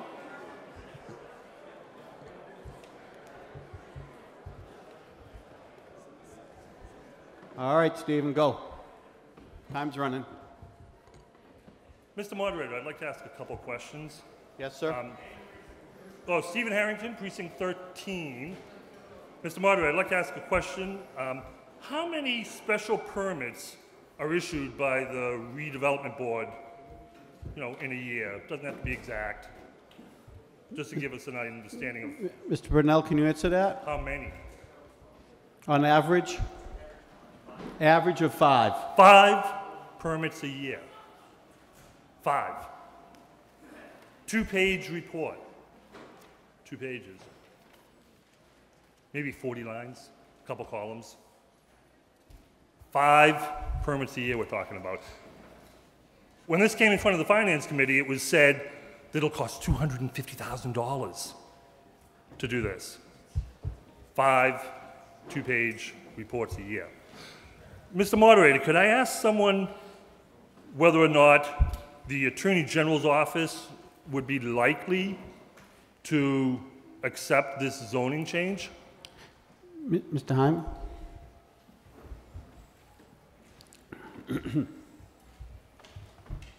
You're asking a lawyer a question. He could take 10 minutes. I'm asking a lawyer with a new child a question. Doug Heim, Town Counsel, good evening. So there's two separate issues, legal issues that are raised this evening. Uh, the first doesn't really have to do with the Attorney General's office. If the building inspector and state officials from the Board of Building uh, Regulations and Standards are contending that this is outside or this would in- interfere with or frustrate authorities derived from state law, that's not necessarily going to be an issue that the Attorney General is going to pay attention to uh, unless and until those state officials petition the Attorney General. I just can't give you a satisfactory answer as to what the Attorney General's reaction to that situation is going to be. And there's also the possibility of litigation that would be outside of the Attorney General's authority to look at a bylaw uh, if it were approved. With respect to the uh, issue of whether or not the Attorney General would allow this type of zoning bylaw, I think it's kind of a close question. But the major concern that they would express is that if the building inspector is representing that he can't, um, he can't uh, ensure that these permits, uh, that these, these, this bylaw is going to be met, you have the issue that I believe Mr. Marr addressed, which is that uh, if the permit granting authority doesn't issue a decision within a timeline, they're either going to be forced into one of two situations. Constructive grant of the permit, which means a permit gets issued by default without addressing it on its merits or without putting any conditions on it, or violating our own local zoning, zoning bylaws because the building inspector hasn't provided them with the reports that our zoning bylaw says they have to have before they make a decision. And that is the, I think, the primary issue that would be of concern of the Attorney General. Thank you. So, remember, five permits, two pages. Um, on last question, Mr. Moderator, um, of those five permits, can we, do we know who the attorney on, say, any one of them is? That's kind of outside the scope. Well, I could we saw say one. that, is it possible that the attorney, say, on the one that Mr. The one that I did showed on one. the housing authority, Excuse me, I did one. I did a permit, special permit. did any um, other elected officials do Um, a special permit? I don't think any of them are lawyers. The Housing Corp? Who was the legal counsel for the Housing Corp example that Mr. Loretti showed us? No idea. Could you ask maybe the redevelopment board knows? They don't remember. Like, Mary Winstanley O'Connor, another elected official, you need to pass this. Thank you very much. Thank you. Mr. Schlickman, you're next.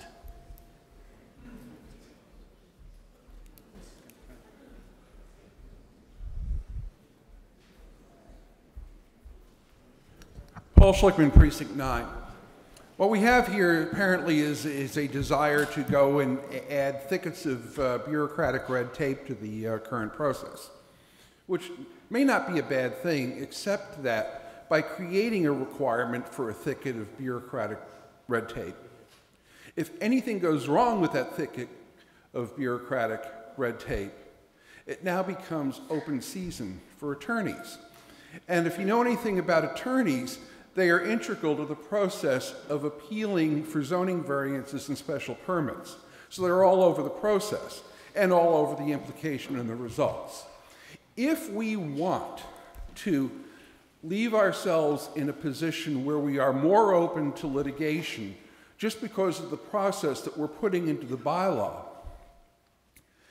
if we're open to the point where someone could challenge a determination of the zoning board or the redevelopment board based on failure to comply with this new bylaw to the extent that it is required, go ahead and pass this thing. The zoning board has proven that administratively they can handle this on their own. I believe the redevelopment board can and does collect the requisite information they need to make the case without an adjustment to the bylaw. And I think the uh, argument being made by the Finance Committee that the additional work required to comply with this would be uh, expensive and that it will require more personnel in order to do this. So I urge a no vote on this uh, substitute motion. Thank you, sir. Mr. Bunnell, you were next. Whoops. Good evening, Andrew Bunnell, Chair of the Redevelopment Board. Uh, I'd like to echo something that Mr. Schlickman just said. The Redevelopment Board already collects the requisite information required to vote on a special permit. As others have said tonight, this is a, an amendment, a change to a problem that doesn't exist. We get what we need from inspectional services, we get what we need from planning and zoning. We had the opportunity to review this proposed article several months ago, and that was the decision that the board came to after much debate, uh, setting costs aside, setting other things aside. The department heads, the people that do their, their jobs here, do their jobs. They give us what we need to make an appropriate decision. We're appointed to make that decision. Um, you know, this, the, the- information is there. It's it's presented to us in the appropriate fashion. If we have questions, we're allowed to ask. If we need to bring Mr. Byrne in to give us clarification, we can continue a hearing and do so. If we need input from planning, uh, we can do so. The lawyer for the proponent on any special permit certainly does not drive the argument here. We have the information. I believe we act appropriately and necessary.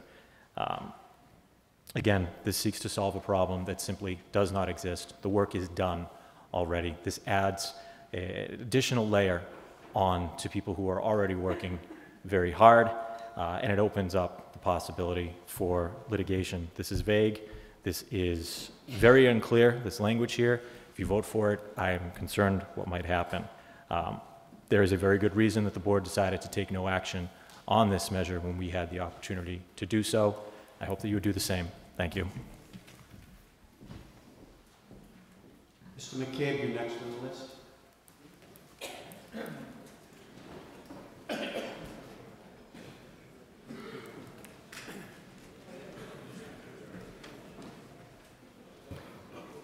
Mark McCabe, Precinct 2. I move to terminate all debate on this motion of Article 6 and all matters before it. We have a motion to terminate debate on Article 6 and all matters before us. Uh, it Takes a two-third vote. All in favor, please say yes. Yes. Opposed? No. In my opinion, it is a two-third vote. Okay. So, this is our first real vote of the night. I'm going to explain what we're going to do. First, we're going to vote on the proposed substitute motion of Mr. Ruderman. Depending upon how that goes, we'll then vote on the final vote as substituted or the recommended vote of the finance, of the uh, ARB. So first, we're going to vote on Mr. Ruderman's vote. Um, Mr. Renault, as soon as you're ready. Okay. So the voting window is now open. Vote one for yes. If you want the substitute motion, vote two for no if you do not want it. Vote.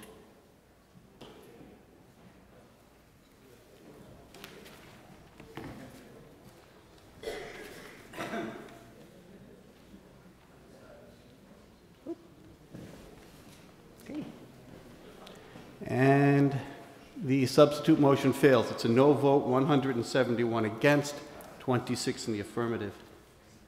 Point of order. Yeah? I don't know if point of order might be something else, but uh, isn't it important to explain how people should vote before the 20 seconds begins, gentlemen? That's what I did. I explained, and I said yes, vote. What's your point of order? Could I see um, if, uh, who voted? You got to get five people to rise. Okay, so five people have arisen. There it is. Remember, these are available the next day on the website.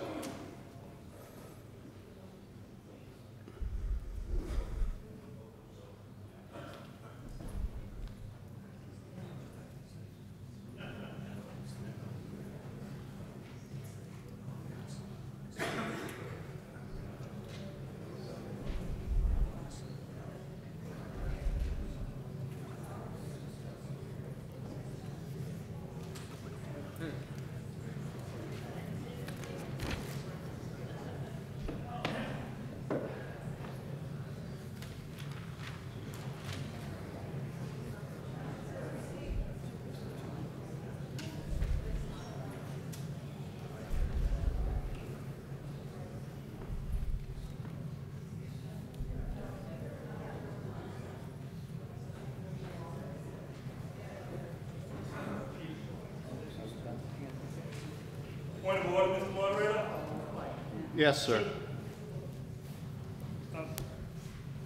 This article was about, That's not a point of order.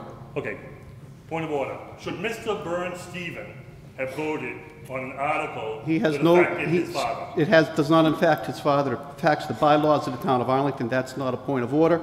Mr. Burns Stephen has no financial interest in this, so he's not violating our rules against, um, whatever they are. It's conflict of interest. So his vote was proper, and that's not a point of order, that's almost a personal attack.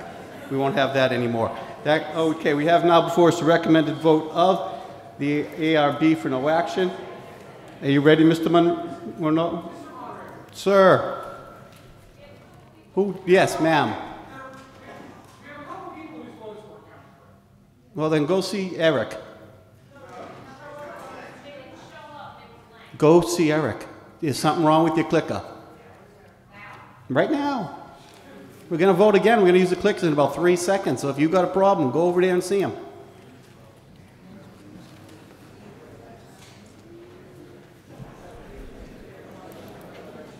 So while they determine if their machine is broken or what, it wouldn't have changed the total at all because of the quantum of vote. And even if they voted in the affirmative, it would not have changed the two-thirds the, the majority vote.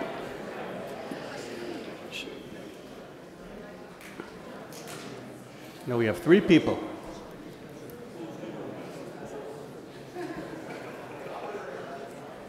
All right, one down.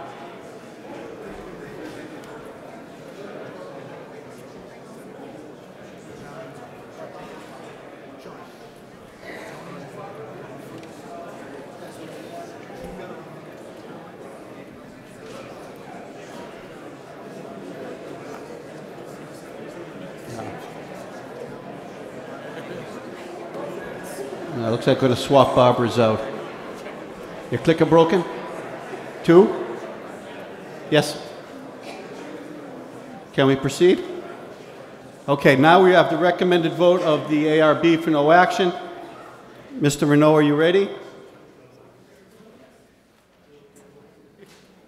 If you're in favor of the recommended vote of no action, please vote one. If you're against it, please vote two. One meaning yes, two is no. And the window's open.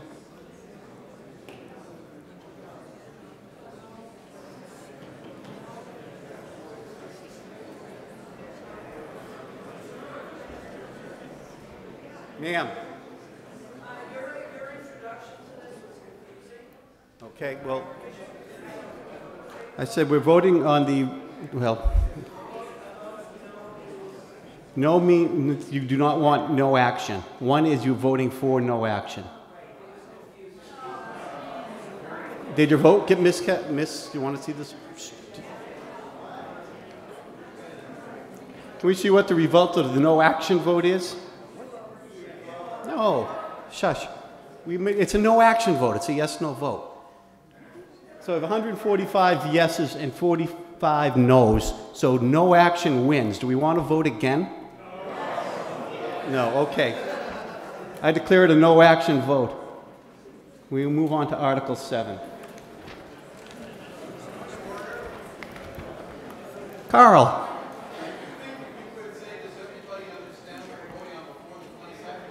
Yeah, so, Mr. Um, Mr. Renault, don't start the clock until I give you the thumbs up. So I understand, they all understand, that we all understand it's ready to go. Good thing it was an easy vote. Now, that brings forth Article 7. Sir, Mr. Deist. Okay.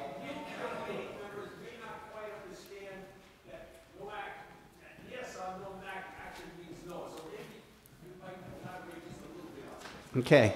On a no action vote, that means nothing's going to happen. We're voting no. So to vote no, you have to vote yes.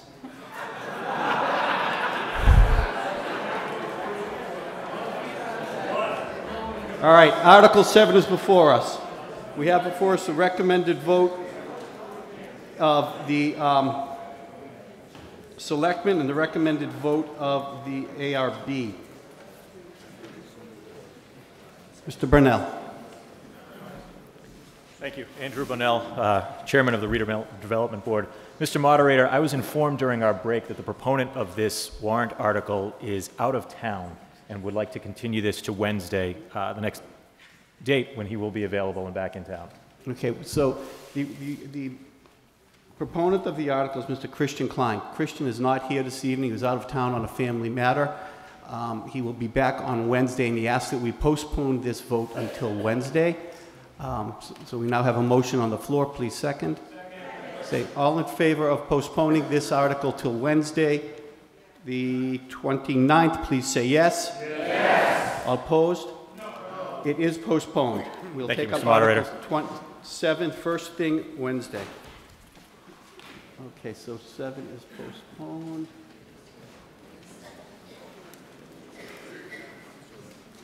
Four twenty-nine, that brings us to Article 8.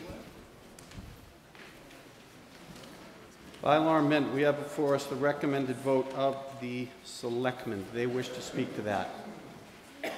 If not, we have a, Mr. Worden.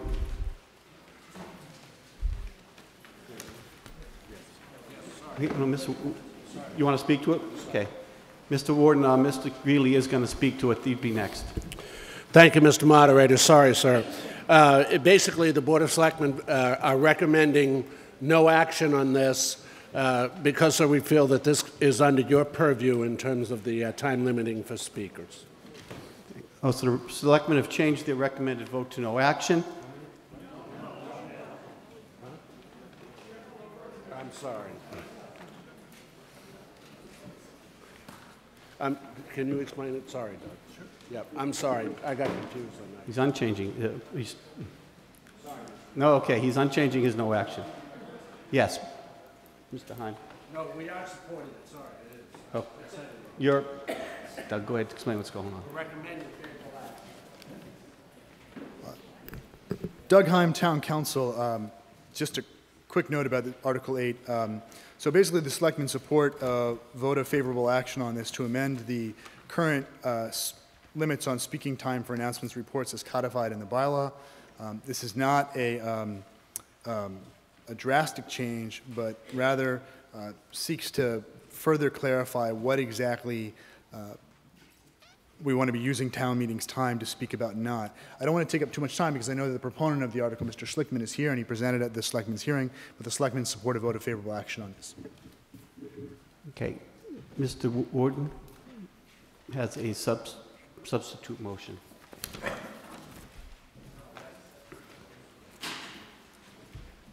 Thank you, Mr. Moderator. Uh, John Worden, uh, Pre- Precinct 8, uh, member of the uh, Town Meeting Procedures Committee. Um, I'd like to point out that you, the town meeting members, uh, at some time in the past established by bylaw a committee to deal with town meeting procedures.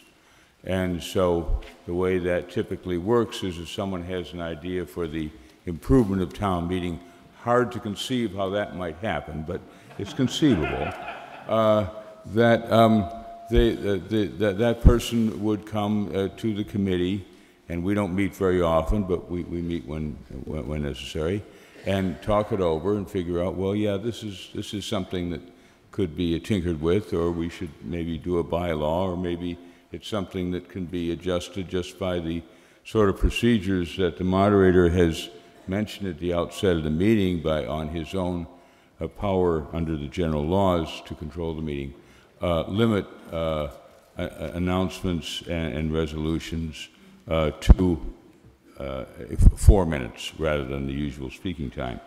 And um, uh, in, in the past, it, has been uh, a, a problem uh, that some people would uh, have, have a, a long report and they would read it, and sometimes they'd also have it on the screen, and, and then it would sort of go on and on. So, so it, it was maybe desirable to, to trim these things down a bit. Um, now, uh, and we did, um, uh, the, the proponent of this did not, did not come to the Town Meeting Procedures Committee, the one you established to think about these things in the first instance. Um, but um, we, did, we, we, we did consider it, and um, we, um, uh, we came up with a substitute motion, which uh, has been put on your chairs. And uh, do you have a copy of it, Mr. Moderator? Yes, I do, sir. Oh, thank you. Uh, And the, uh, is is anyone who who doesn't have it, I'll be glad to uh, read it if you, if you don't have it. Um, so It says substitute motion for, it was in the, in the report of the Town Meeting Procedures Committee, the, the motion that, that I'm bringing forward at this point. Um, And we, we feel that uh, the, the proposal uh, put forth by the selectmen is, um, it's long and cumbersome. It's, it's an example of a, a camel is a horse designed by a committee.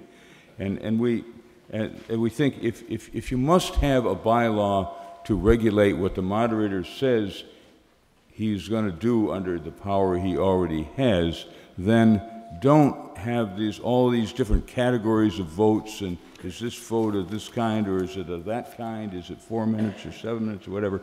No, we, we have a very short and, and simple uh, definition, uh, uh, it just says re- re- reports will be four minutes.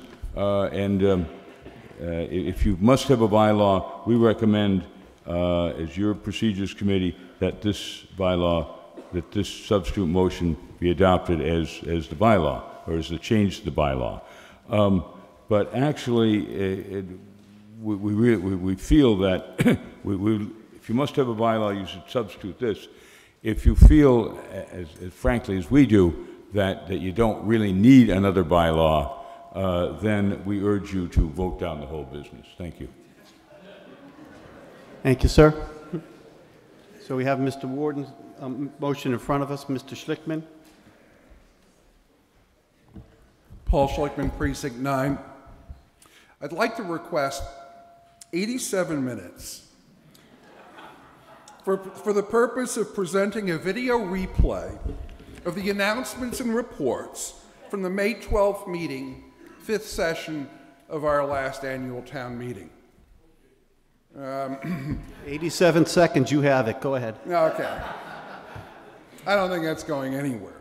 But on a couple of nights last year, we came perilously close to having the announcements bump up against the 9:30 break.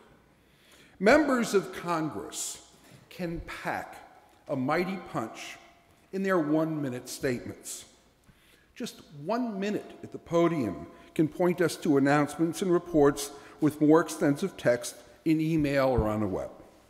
Literature can be placed on the seats in town hall. Trust me, there are times when people need good reading material during town meeting. More extensive reports and the Uncle Sam song could be taped at the ACMI studio for multiple joyous replays. Our bylaw regulates speaking time on the business of the meeting, but not on remarks with no relevance to the warrant. Seems kind of backwards to me, and I hope you agree. I have no objection to the substitute motion, though I prefer less than four minutes, but I urge you adopt one of the versions before you tonight. Thank you. Mr. O'Connor?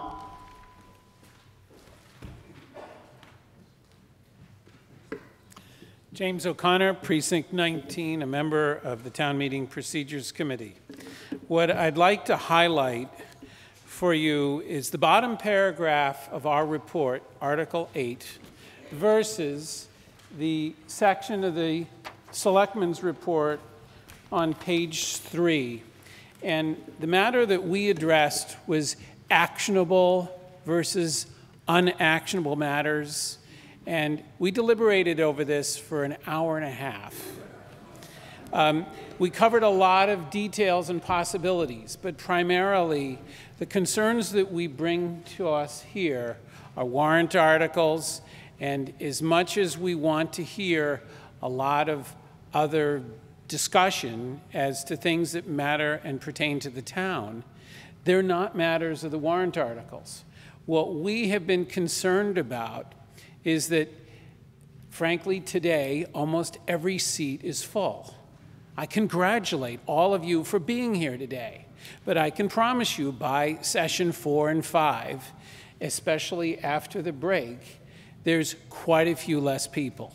A lot of people have approached members of the Town Meeting Procedure Committee and said, How can we reduce the lack of attendance? You'll hear about that in Article 45.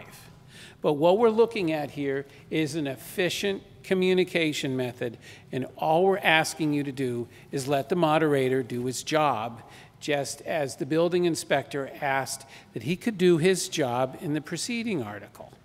And what we're looking at here is the moderator has the power to terminate um, anybody's idea of going 17 and a half minutes or Paul's 87 minutes because he brings it to the floor, and I'm sure all of you don't want 87 minutes on a topic. So I'd like to be brief and just say in less than three and a half minutes, I ask you to vote for the substitute motion if it, you're going to vote for a motion, and then terminate the whole matter by voting no action because the moderator can do the job as he's already done. Thank you. Thank you, sir. Mr. Jameson?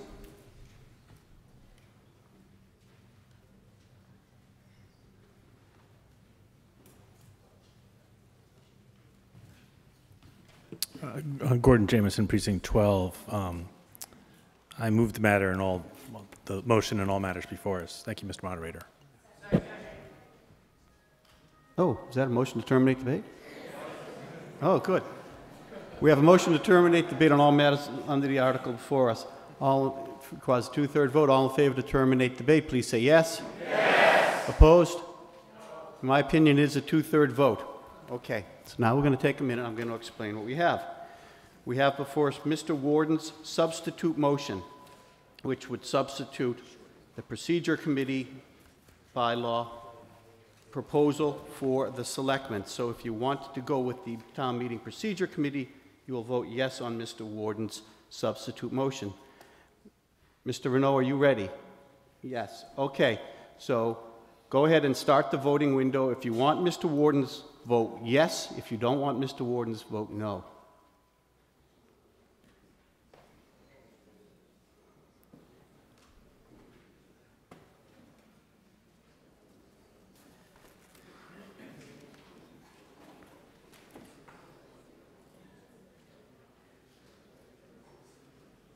Okay, time's up. And tally? We have 164 in the affirmative, 35 in the negative. Mr. Worden's substitute motion passes. So now we have before us the recomm, this is going to sound weird to the Newtown meeting members. We have the recommended vote of the Board of Selectmen as substituted by Mr. Worden's motion. So we're now voting whether or not we want to make Mr. Worden's motion a town bylaw or not. If we want to make a bylaw regulating speaking on articles, vote yes. If you don't and want to just go with, I'm not done.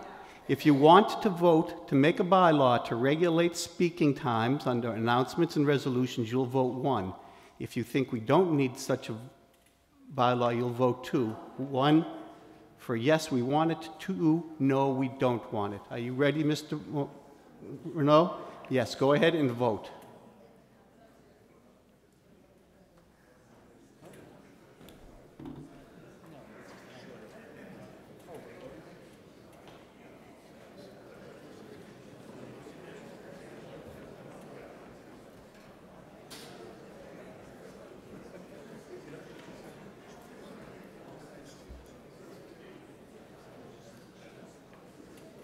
We have 104 people voting yes in the affirmative. We now have a bylaw to regulate speakers under announcements and resolutions to four minutes.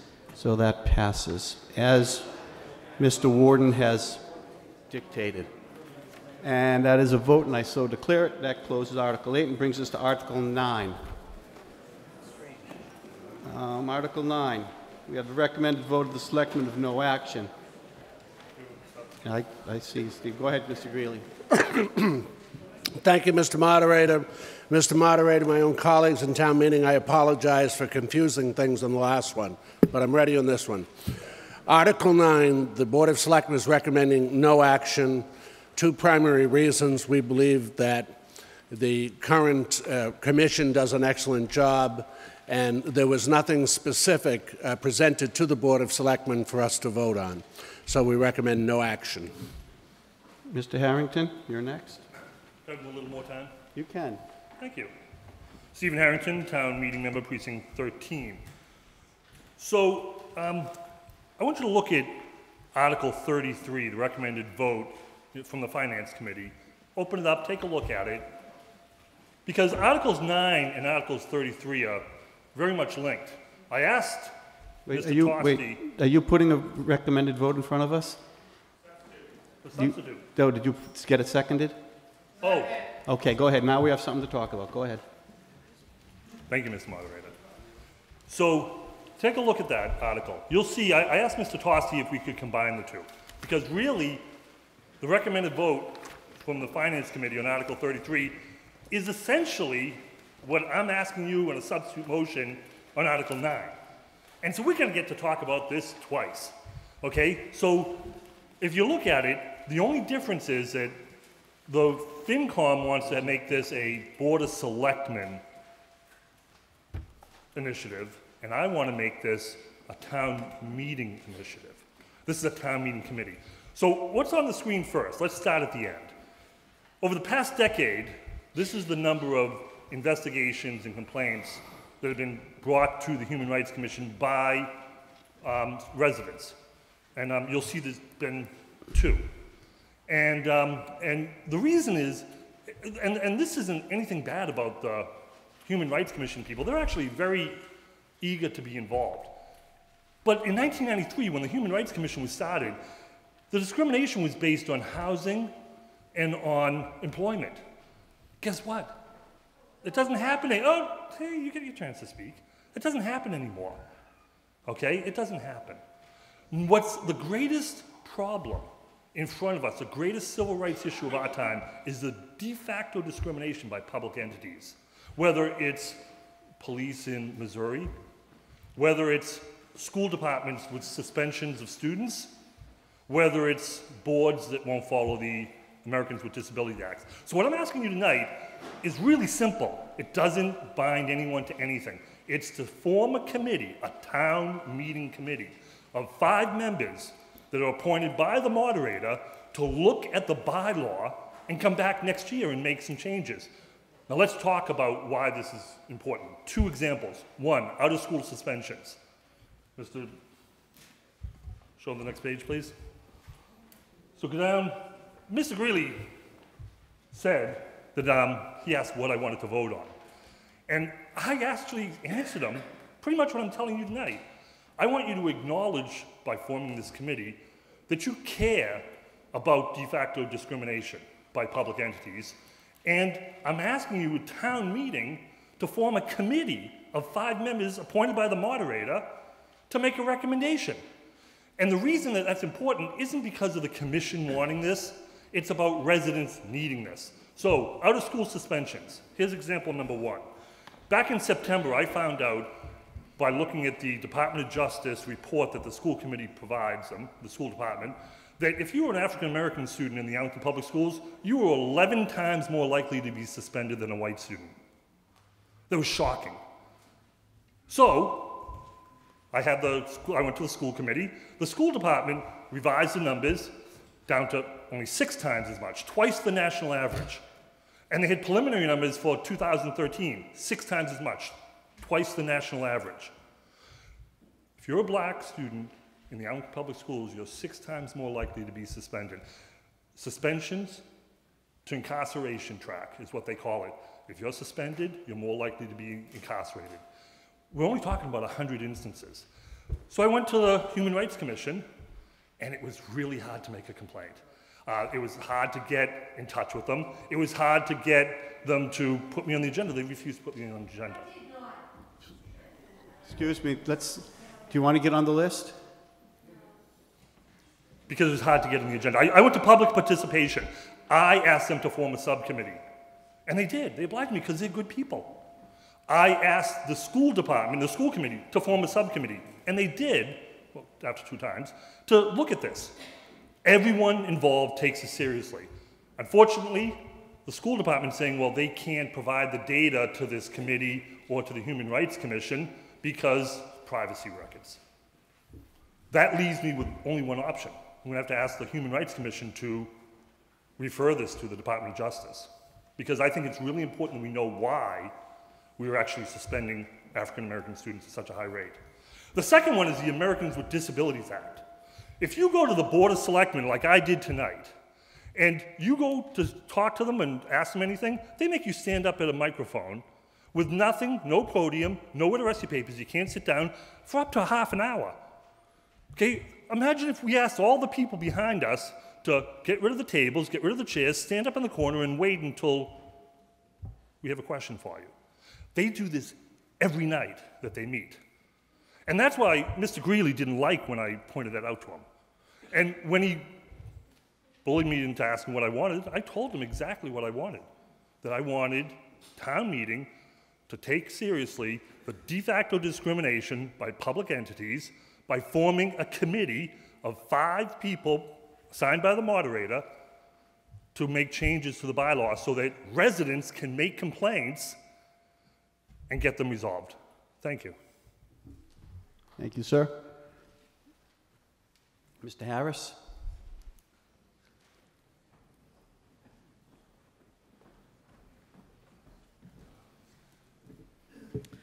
EJ Harris, Precinct 5. Um, I want to start because I want to be sure that we understand that this part isn't ironic. Um, as far as I can tell, the Human Rights Commission does excellent work and are genuinely trying to pursue better life in the town of Arlington. And so, even if we disagreed with all of their decisions, they would still deserve our respect and gratitude. That said, I don't think this is about their performance. From my point of view, it's about whether or not my girlfriend is going to leave me, and I'll explain why. um, you see, about starting this fall, she went. She started going to this silly-looking building across from the Granary Burying Ground, down by uh, uh, the Park Street T Stop, uh, Suffolk Law School, I guess. Um, and they gave her these giant books uh, about personal jurisdiction and the elements of felonies and what constitutes negligence and how not to keep your promises, which I guess in Latin is called contracts. And all we have talked about and all that we have done for the last nine months has been talk about what's in these books. Literally, right before I'm coming to town meeting, she texts me tonight and said, doesn't say, good luck at town meeting, doesn't say, I'm glad you're in my life, says, here's this case that we're talking about, about explosive ordnance in construction and its effect on farmed mink. Literally. The worst of this is my birthday was Saturday, and she was so busy writing a paper for one of her courses uh, that I didn't get any chocolate chip cookies for my birthday. Which, if you've had her cookies, you would complain about that to a room full of strangers too. I'm serious. Why do I mention it? She tells me that the reason she's going through this process, and apparently intends it for another three years, um, is that she wants to participate in this apparently 400 year old system of justice where, which has, I guess, been protecting the rights of the people of Massachusetts since our founding, more or less. Um, if that's not true, that she is taking the most elaborate steps to avoid me and get me to stop talking to her that anyone has ever taken, which is an achievement. Uh, I'm sure, sure you all understand the idea of wanting me to stop talking, but seriously, she is, she is really working hard at that if that's what this is about. The moral of the story is if the police beat you up like they did in Ferguson, you need a lawyer. If you've been unjustly suspended from school, you need a lawyer. If town entities have violated the ADA, you need to sue those town entities. You need a lawyer. The Human Rights Commission does excellent work. They can't redress these things like the tort system can.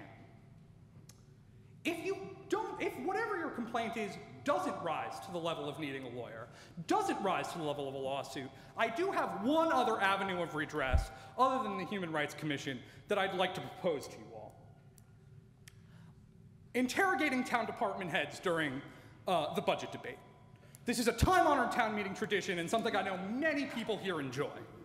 But what you really need is somebody who's young, who's brash, possibly somebody who's been considering harassing town officials to be a recreational activity since he was about 17. Mr. Schlichtman can tell you about that. Um, certainly, you would need someone strong willed, utterly heedless of personal consequence, and almost pathologically addicted to arguing.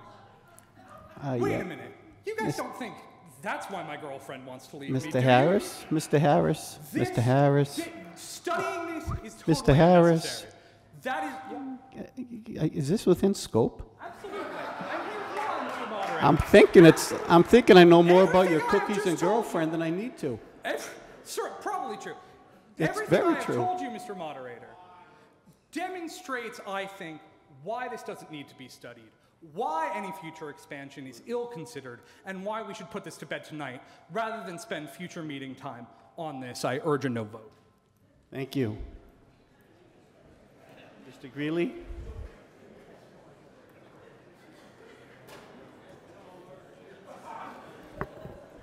Thank you, Mr. Moderator. How do I follow that? I can't possibly. I just want to make two points of clarification. Uh, First of all, uh, uh, on points that Mr. Harrington made, and uh, one, we all agree that the Human Rights Commission does an excellent job. Why do we need to change anything? But first of all, he said they make you stand up. I'd like you to know that for that hearing, Mr. Harrington requested through the mayor of Arlington that we provide a chair, a table, and a microphone uh, for him, and that evening those were provided, as we would for anybody who needs such things. Uh, secondly, four members of the Board of Selectmen that night asked him what he was proposing, and not once did he bring up, which was brought up tonight, that he wants this to be a town meeting uh, committee instead of uh, the Board of Selectmen. Never brought up, so uh, my colleagues. Oh, is it written on that? I'd ask you to watch the tape. Thank you, Mr. Moderator. Thank you. Okay, um, the lady behind Clarissa. I don't know everybody's name yet. Oh, it's, I, why, you got a haircut, that's why I don't recognize you. Miss Barron. Thanks. Sherry Barron, Precinct 7, and member of the Human Rights Commission. Um, to Mr. Harrington's uh, first or second point about the small number of complaints, um, which I can only think that he's bringing up, well, I, I shouldn't deign to, to know that I think what he's thinking, but um, yes, we do have a very small number of complaints. Whenever I get up to speak, or anyone speaks before you through the Human, for the Human Rights Commission, we say that's the good news and the bad news. The good news is it looks like there are very few complaints arising out of hate incidents in this town. The bad news is there are more than three or six complaints. There are more than three or six incidents that happen. I'm sure of it. And I know most of you believe the same to be true. But when you think about someone whose rights have been violated, think about how easy or not that is to bring forward to someone. Think about what position they're in, what protected class they're in, where they come from, where their country of origin is, where it might have been absolutely um, unheard of to go to an official to complain about how you're being treated. So I don't believe that that is a true representation of what is really happening. That said, um, with regard to his to the proponent calling, there are no records of him calling the commission. He emailed our chair on October 24th. She emailed him back, and he attended our November meeting. We listened to his concerns. We formed a subcommittee. So for him to imply that we've done nothing is untrue. Thank you. Thank you, ma'am. You.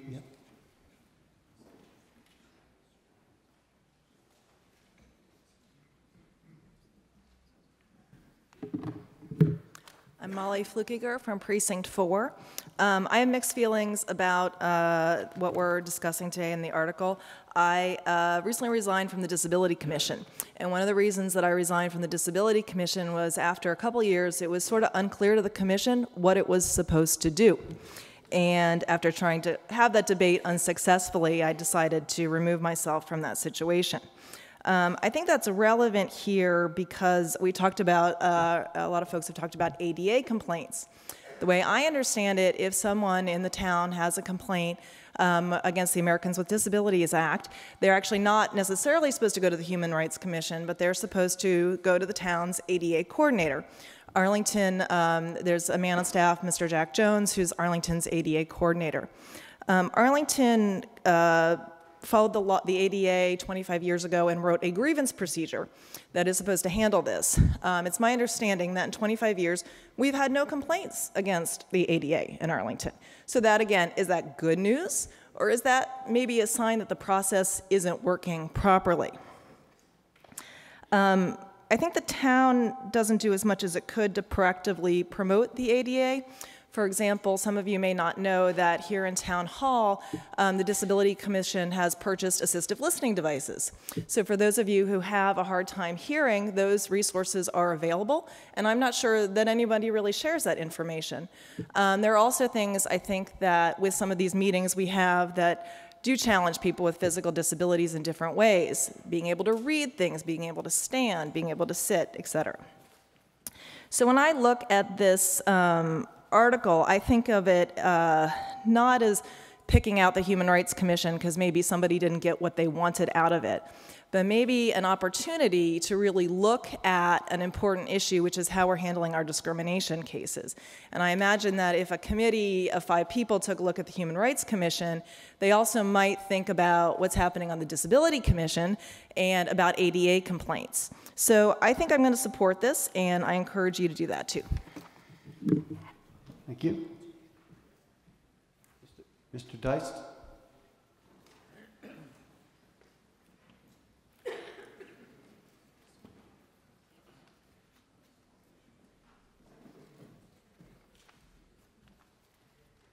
I move the question and all issues related thereto. Okay, have a motion to terminate debate on all matters under the article? Um, All in favor, please say yes. Yes. All opposed, say no. In my opinion, it is a two-thirds vote. Debate is terminated. So, once again, we're ready to vote, but we have before us, and we're going to vote it this way. First, we're going to vote on Mr. Harrington's substitute motion. If you want Mr. Harring's substitute motion, please vote yes. If you're opposed to it, vote no. We're ready over there. All right, so the voting window is now open. Again, if you want Mr. Harrington's substitute, vote yes. If you do not, vote no.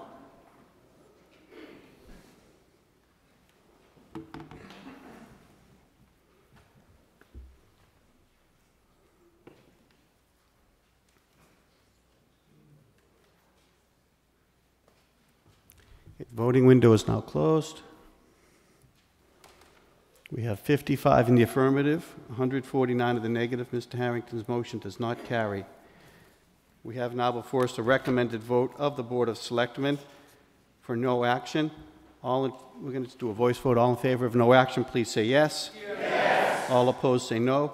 No. We have a vote of no action on Article 9.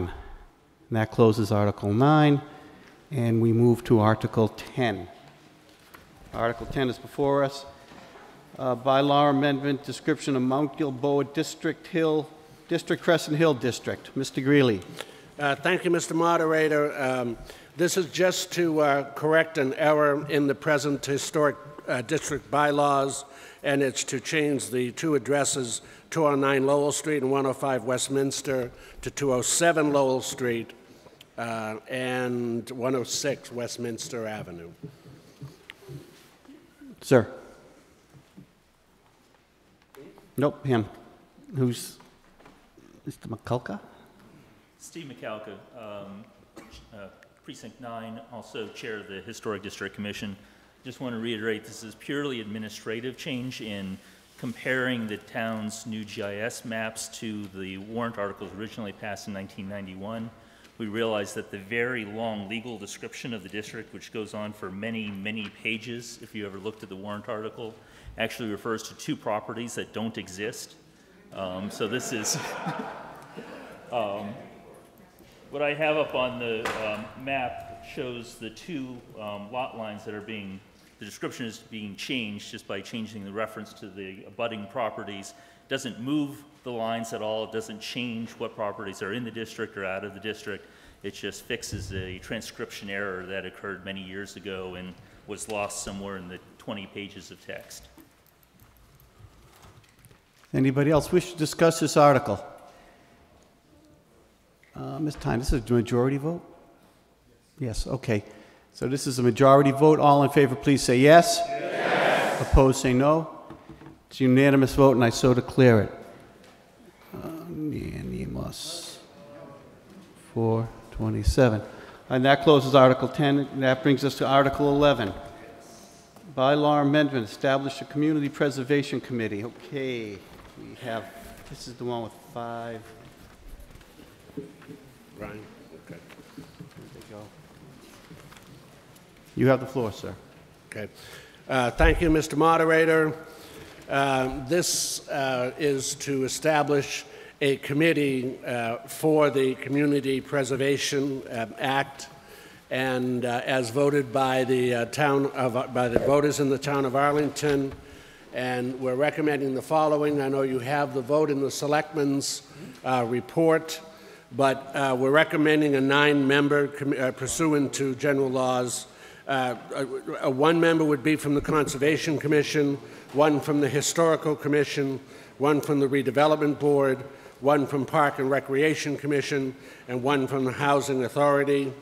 There would be four others at-large members, and what we are recommending is a, a screening committee uh, of the town manager and the chairman of the Board of Selectmen or designee, and then uh, that would be brought uh, Those four candidates would be brought before the uh, entire Board of Selectmen for a vote uh, by the uh, selectmen, uh, including also the town manager, the same way we we do CDBG. Uh, The rest of it, duties, responsibility, administration, and operation, I won't uh, read through all of that for you, but we do feel this is the most transparent way to uh, elect these four at-large members I really believe that this is going to take a lot of coordination. Uh, First of all, we are dealing with taxpayers' money uh, in this instance on the property tax, and also with coordination of all other towns and commissions. Uh, We feel this is the best way to go about this at this point in time. Thank you, Mr. Moderator. Thank you, sir. Okay, so I'm going to introduce first the various people who have given me substitute motions. Mr. Harrington, Sean? Thank you, Mr. Moderator. Sean Harrington, uh, Precinct 15. I'd actually like to amend the amendment that I am presenting. Amending your amendment. Yep. Um, Instead of um, it saying member, I'd like to change it to at-large member. Um, So the amendment would then read, "No at-large member of the Community Preservation Committee shall serve more than six consecutive years at a time. Waiting period of three years shall be imposed on any member of the committee after serving six conse- consecutive years if they wish to rejoin the committee." Second. Okay, it's been seconded. Um, the, originally, I was going to have it for all members, but after talking to town counsel, this seems to be the best way to go. Um, this is basically just to make sure that there's a consistent, um, I don't know if change would be the right word, but making sure that, it, that the committee doesn't become stale at all. Um, many times I've seen that people, you know, join boards and they get really excited after a while, but when they're there for such a long period of time, they end up kind of fading out. You know, the point of this committee is uh, community preservation, not self-preservation. Um, so I think it basically speaks for itself. It gives them a chance to join the committee again, but they have to take a little bit of a break, take a breather, allow someone else to come in with possibly new ideas. It doesn't mean you can't be part of the process. You can still show up to meetings. You can still be active with it. What it means, though, is that we're what this is going to do is try to get more people involved. This should be a community effort. It shouldn't just be for one group of people to run and stay forever. We should be trying to get a diverse group of opinions, um, people to serve on this over the course of time. And I think that's pretty much it. Okay, good, thank you. Mr. Hayner?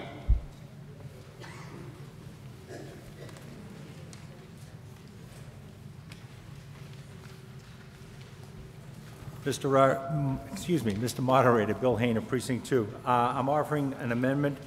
Uh, I move the recommended vote of the Board of Selectmen be amended to the following respect. In Section 1A, uh, 10th line, after the word "and" delete from the word "for" through and including the words Section 1B and inserting two members appointed by the town moderator, one member of the, by the Finance Committee as deg- as designated by such committee, and one member appointed by the town manager.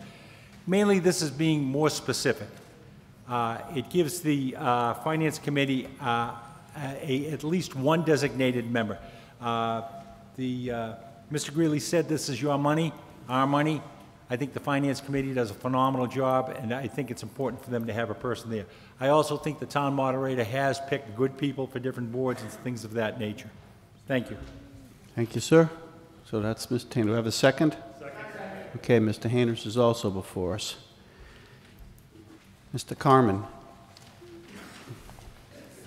Yep, you're next, John. John Deyst. Dean Carman, Precinct 20. So for most of you, except the people in the back chair rows, I apologize. I had handed out two subs, two amendments. After, I I mean, you're probably like I, I mean, I didn't expect four, three, four others to be sitting there. So I'm not going to um, put forward my two amendments. What I would like to do, though, is support Mr. Hayner's amendment and explain why, because I think his amendment is somewhat similar to mine. No, I'm not going to put either forward because I, I feel like I've created a bunch of litter. We've created a bunch of litter, killed a bunch of trees, and confused the matter. So, in supporting Mr. Hayner's amendment, I just want to explain my, my reasoning. At all levels of government, whether it's the federal government, He can still speak. I I thought he was going to present them. He has a right to speak as a town meeting member. I thought he was going to present them. So well, I'm just trying you to will explain get why your I'm not. chance. Do you want to speak? Go, Dean, go. Thank you. So, and I apologize for the confusion. Um, the, the reason I support Mr. Hayner's uh, amendment is it, you know, what we have here is, is really a separation of powers at all levels of government, whether it's the federal government, the state government, or the local government. Spending and appropriation is the job of the legislature. In Arlington, the job of the legislature falls to town meeting, all of us. And so when you look at our two other committees that we have right now that deal with financial matters, we have the Finance Committee. The appointing authority for the Finance Committee is not the Board of Selectmen. It is a three-person committee of the town moderator, the democratically elected speaker, the chair of the Finance Committee, and, and I always screw this one up, so let me go look at, thank you, Trust Fund, Commi- Chair of the Trust Fund Commissioners. And I know when Mr. Greeley said it spent a lot of, you know, it was interesting, Mr. Greeley said we spent a lot of money. Um, it, when we're spending taxpayer money, so the selectmen have to make the appointment. I don't think he was implying that the moderator, or finance committee chair, and trust fund commissioner don't make good decisions. But I think it shows the difference in thought process. We also have a capital planning committee, and the capital planning committee has some set members on it. It, you know, and after that, we have four citizen appointees, or we have two citizen appointees. I forget which one right now. Let me look. Um, four registered voters of, of the town of- approved by, uh, appointed by the town moderator. Again, in the second situation, we don't ask the Board of Selectmen, we don't, ab, we don't delegate our authority as town meeting members to the selectmen and say, hey, this is now a committee of the executive branch. We hold the power with the town moderator and we say, no, this is a committee of the legislature. And so that's why I'm supporting Mr. Hayner's motion instead of my own, because I think it gets to the same place. It takes the power of appointment and it puts it in the hands of the democratically elected speaker of this body, as well as the finance Commi- committee chair, which, and just for some clarifications, if you look at state law, the finance committee is a subcommittee of this town meeting. So you're taking the chair of a subcommittee of this body and you're asking the chair of the subcommittee to help with that appointment. So that's my, my thinking, my rationale. I apologize for any confusion that might have been started in the early going. Thank you. Okay, Mr. Worden?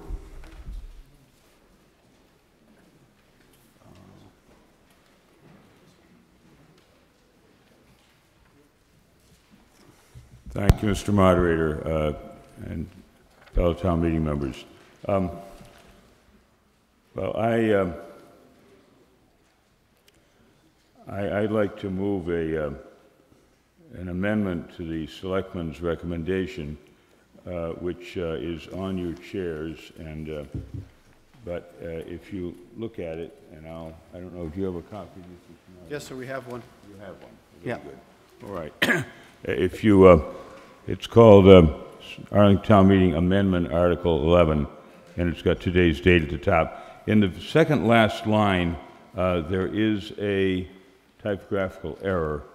Uh, The second last, line in paragraph three, uh, spell check doesn't do context check very well.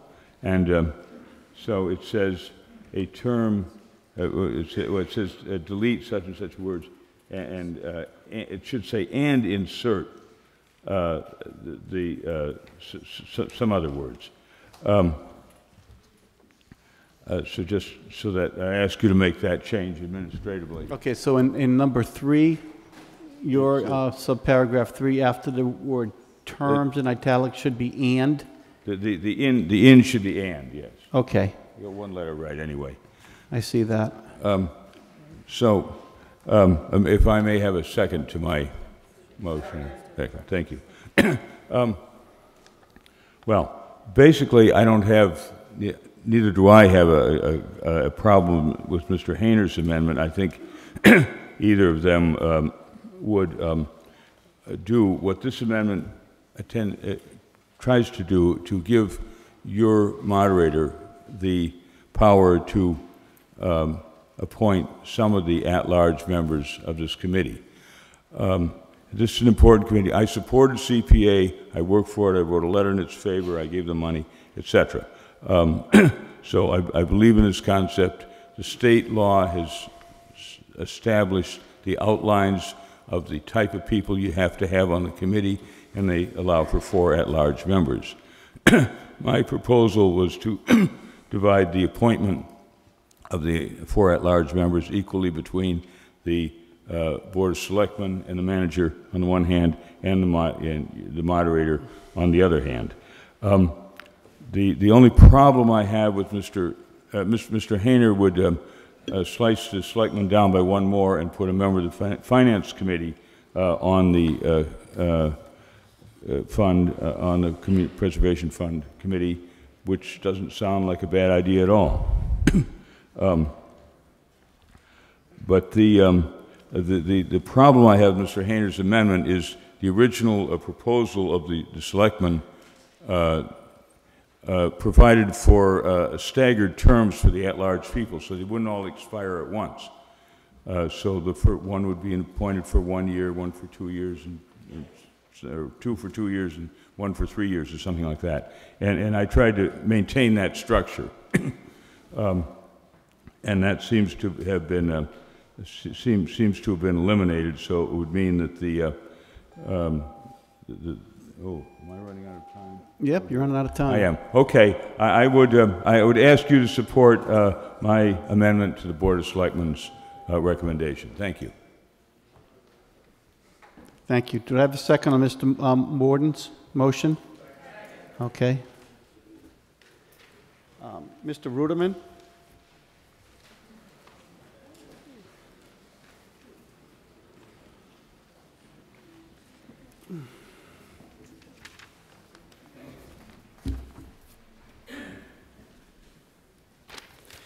Thank you, Mr. Moderator. Michael Ruderman, Precinct 9. Um, I look at the portion of the uh, Selectmen's uh, uh, recommended motion here that asks and, and um, expresses the desire for close uh, communication, cooperation, and integration of town needs with those members of, of the various boards who serve much, um, much outside of the spotlight of, of um, you know, th- our thanks and gratitude at looking forward in years and trying to figure out now what it is we need to budget for, what we need to put into action, what we need to hold off until future years. These are the folks who, who toil uh, in the Finance Committee and uh, Capital Planning Committee. I would like to see the, um, the expressed desire of the uh, selectmen's recommended motion um, ensured by making sure that um, a couple of these people have the uh, both the metaphorical and the literal seats at the table that integration of purposes would require. Now, I speak to you uh, in a similar vein as uh, our colleague Mr. Worden just did, uh, but from a different viewpoint. Uh, you probably know that I was not a supporter of Arlington's adoption of the Community, Community Preservation Act. Uh, a rather ardent one from the uh, number of hours that my beloved was wondering what I was trying to do to avoid talking to her through the entire debate. But I'm not here to recount uh, any funny stories about that. And what I'm saying is that I opposed Arlington's adoption of this for a number of reasons. One was that, if I can trot out a line that summarizes uh, from the campaign why I was opposed, is that the Community Preservation Act works to the benefit and the legacy and the, and the, the, the glory and the reputation of the folks who, who get to propose new projects and uh, ultimately to cut the ribbons and welcome the public into something bright and shiny and new or old and restored, uh, something which is a clear and obvious benefit to the community. They get to cut the ribbons.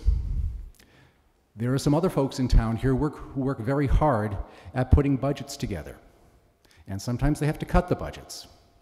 I would like the folks who have to cut the budgets to have a seat at the table, literally a seat at the table, as well as the appointments uh, held by the people who cut ribbons.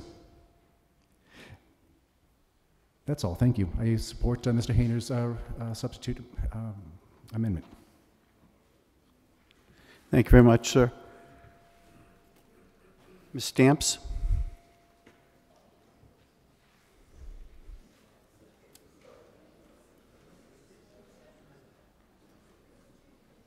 Hi, Susan Stamps, Precinct 3. Um, I was involved in getting the ballot question passed.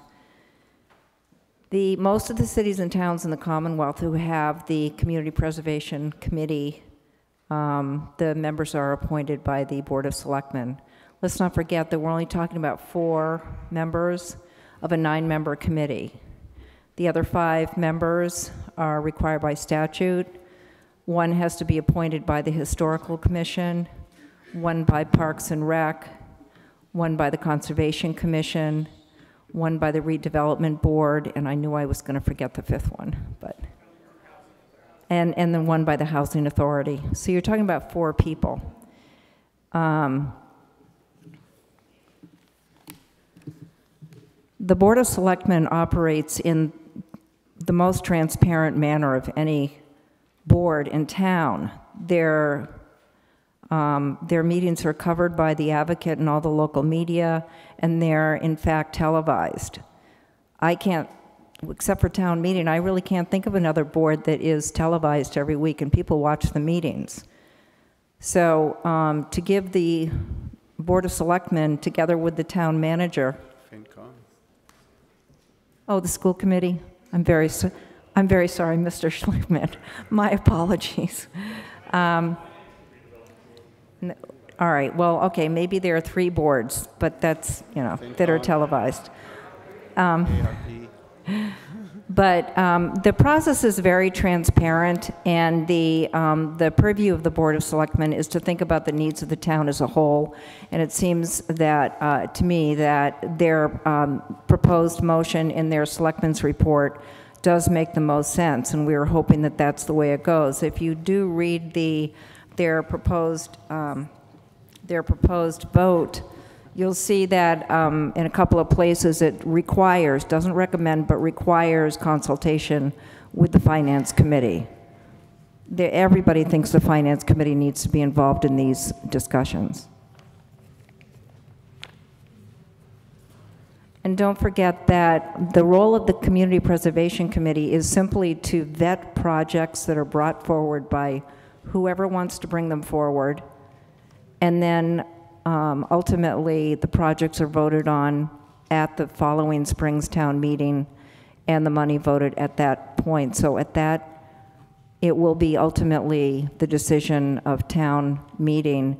And with all due respect to the town moderator, I don't think he needs to be involved in the process before that. Thank you. Mr. Leonard?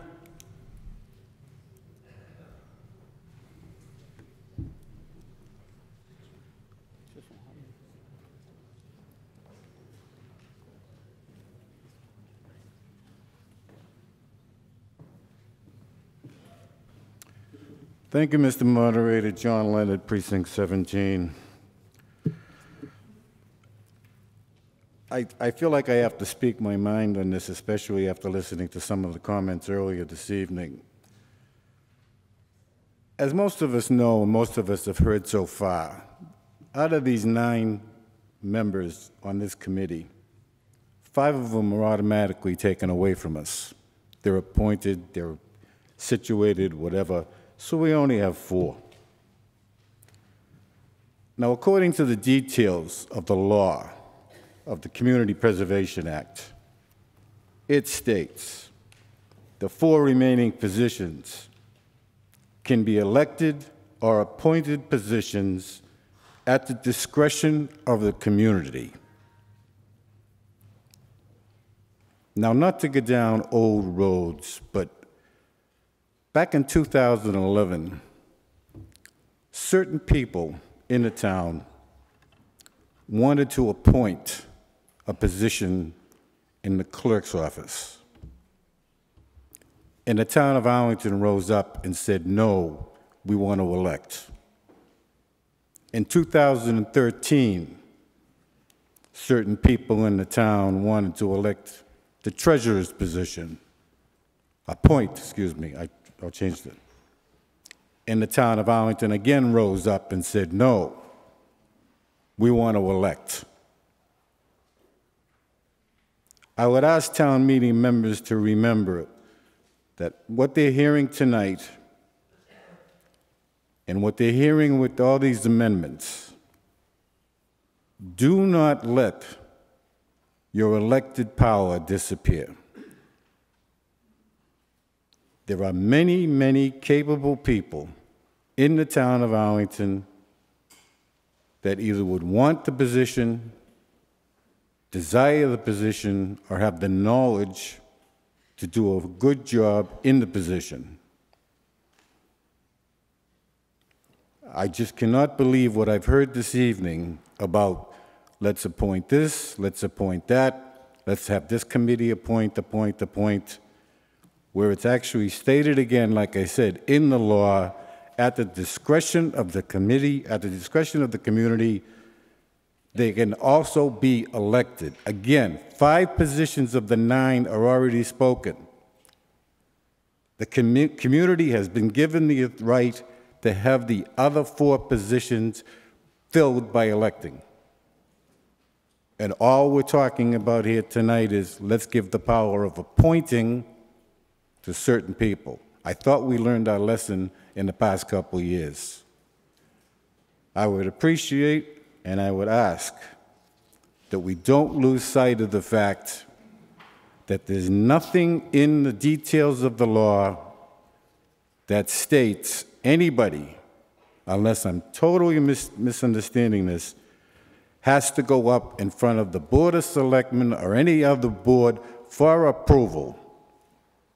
It says to me by this law, somehow, these four remaining people should be elected, possibly on their merits or their knowledge, but they should not have to be subject to approval by any board. I would ask the town meeting members to remember, we got in trouble with appointments before. The town of Arlington said we want to elect. Don't take that away from us. Thank you. Thank you, sir. Mr. Deyst?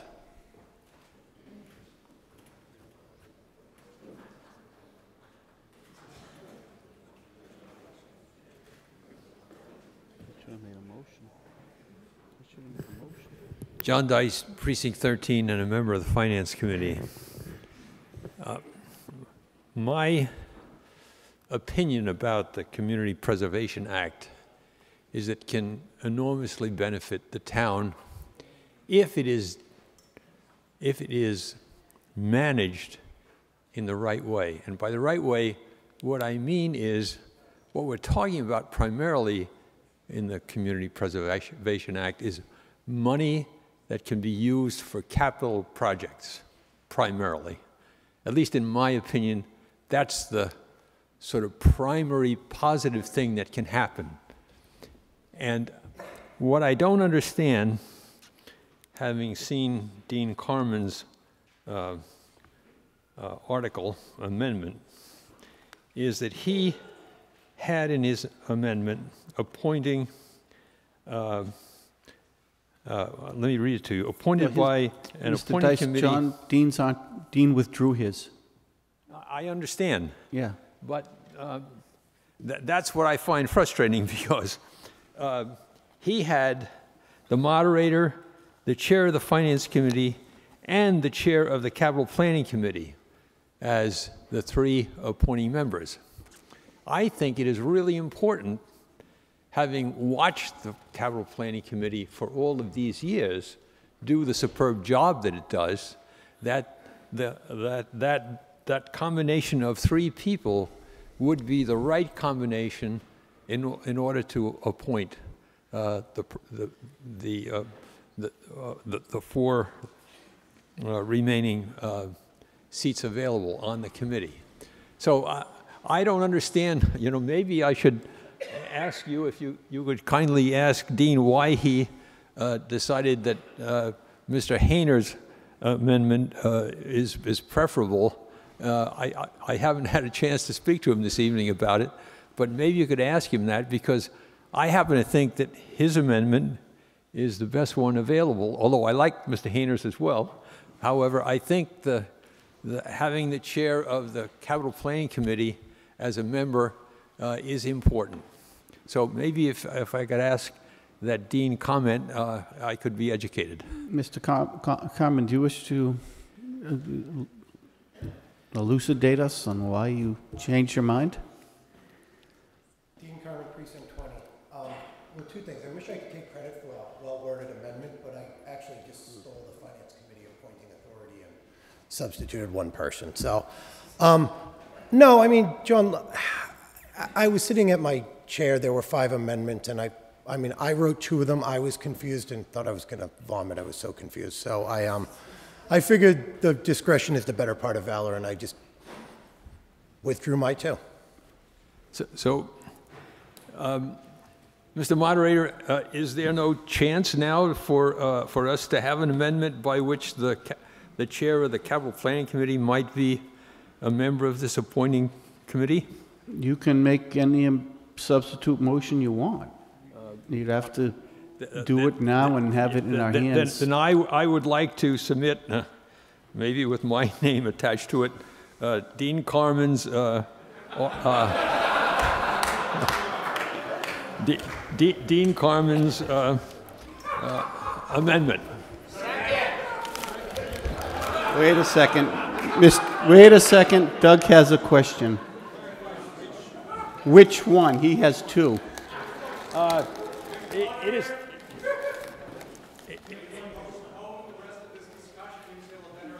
Well, wait a second. Maybe he's going to make his motion, then we're going to adjourn till next Mon, next Wednesday, because it's three seconds to 11.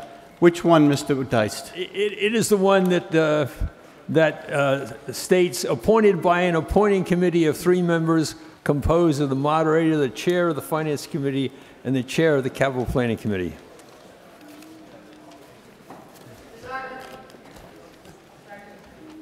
Uh, Appointed by the joint. Okay, this one here. You want to take Mr. Carman's, take his name away, put your name there, and submit this as a motion. Yes. All right. Does everybody understand what Mr. Deyst is doing? Okay. Mr. Deyst, you'll come up here afterwards and sign the appropriate paperwork. Uh, Thank- Motion thank- to adjourn. Thank you. Do we have any much. motions for reconsideration? Now, for the new members, we can reconsider, but only if you tell me about it tonight. If we- no one reconsiders anything, you can't ever talk about it again. Any motions for reconsideration? None. We are adjourned till Wednesday, 8 o'clock. Please be ready to go at 8 o'clock. Everybody was filing in at 5, 10 past. Um, I'm going to start right at 8 o'clock.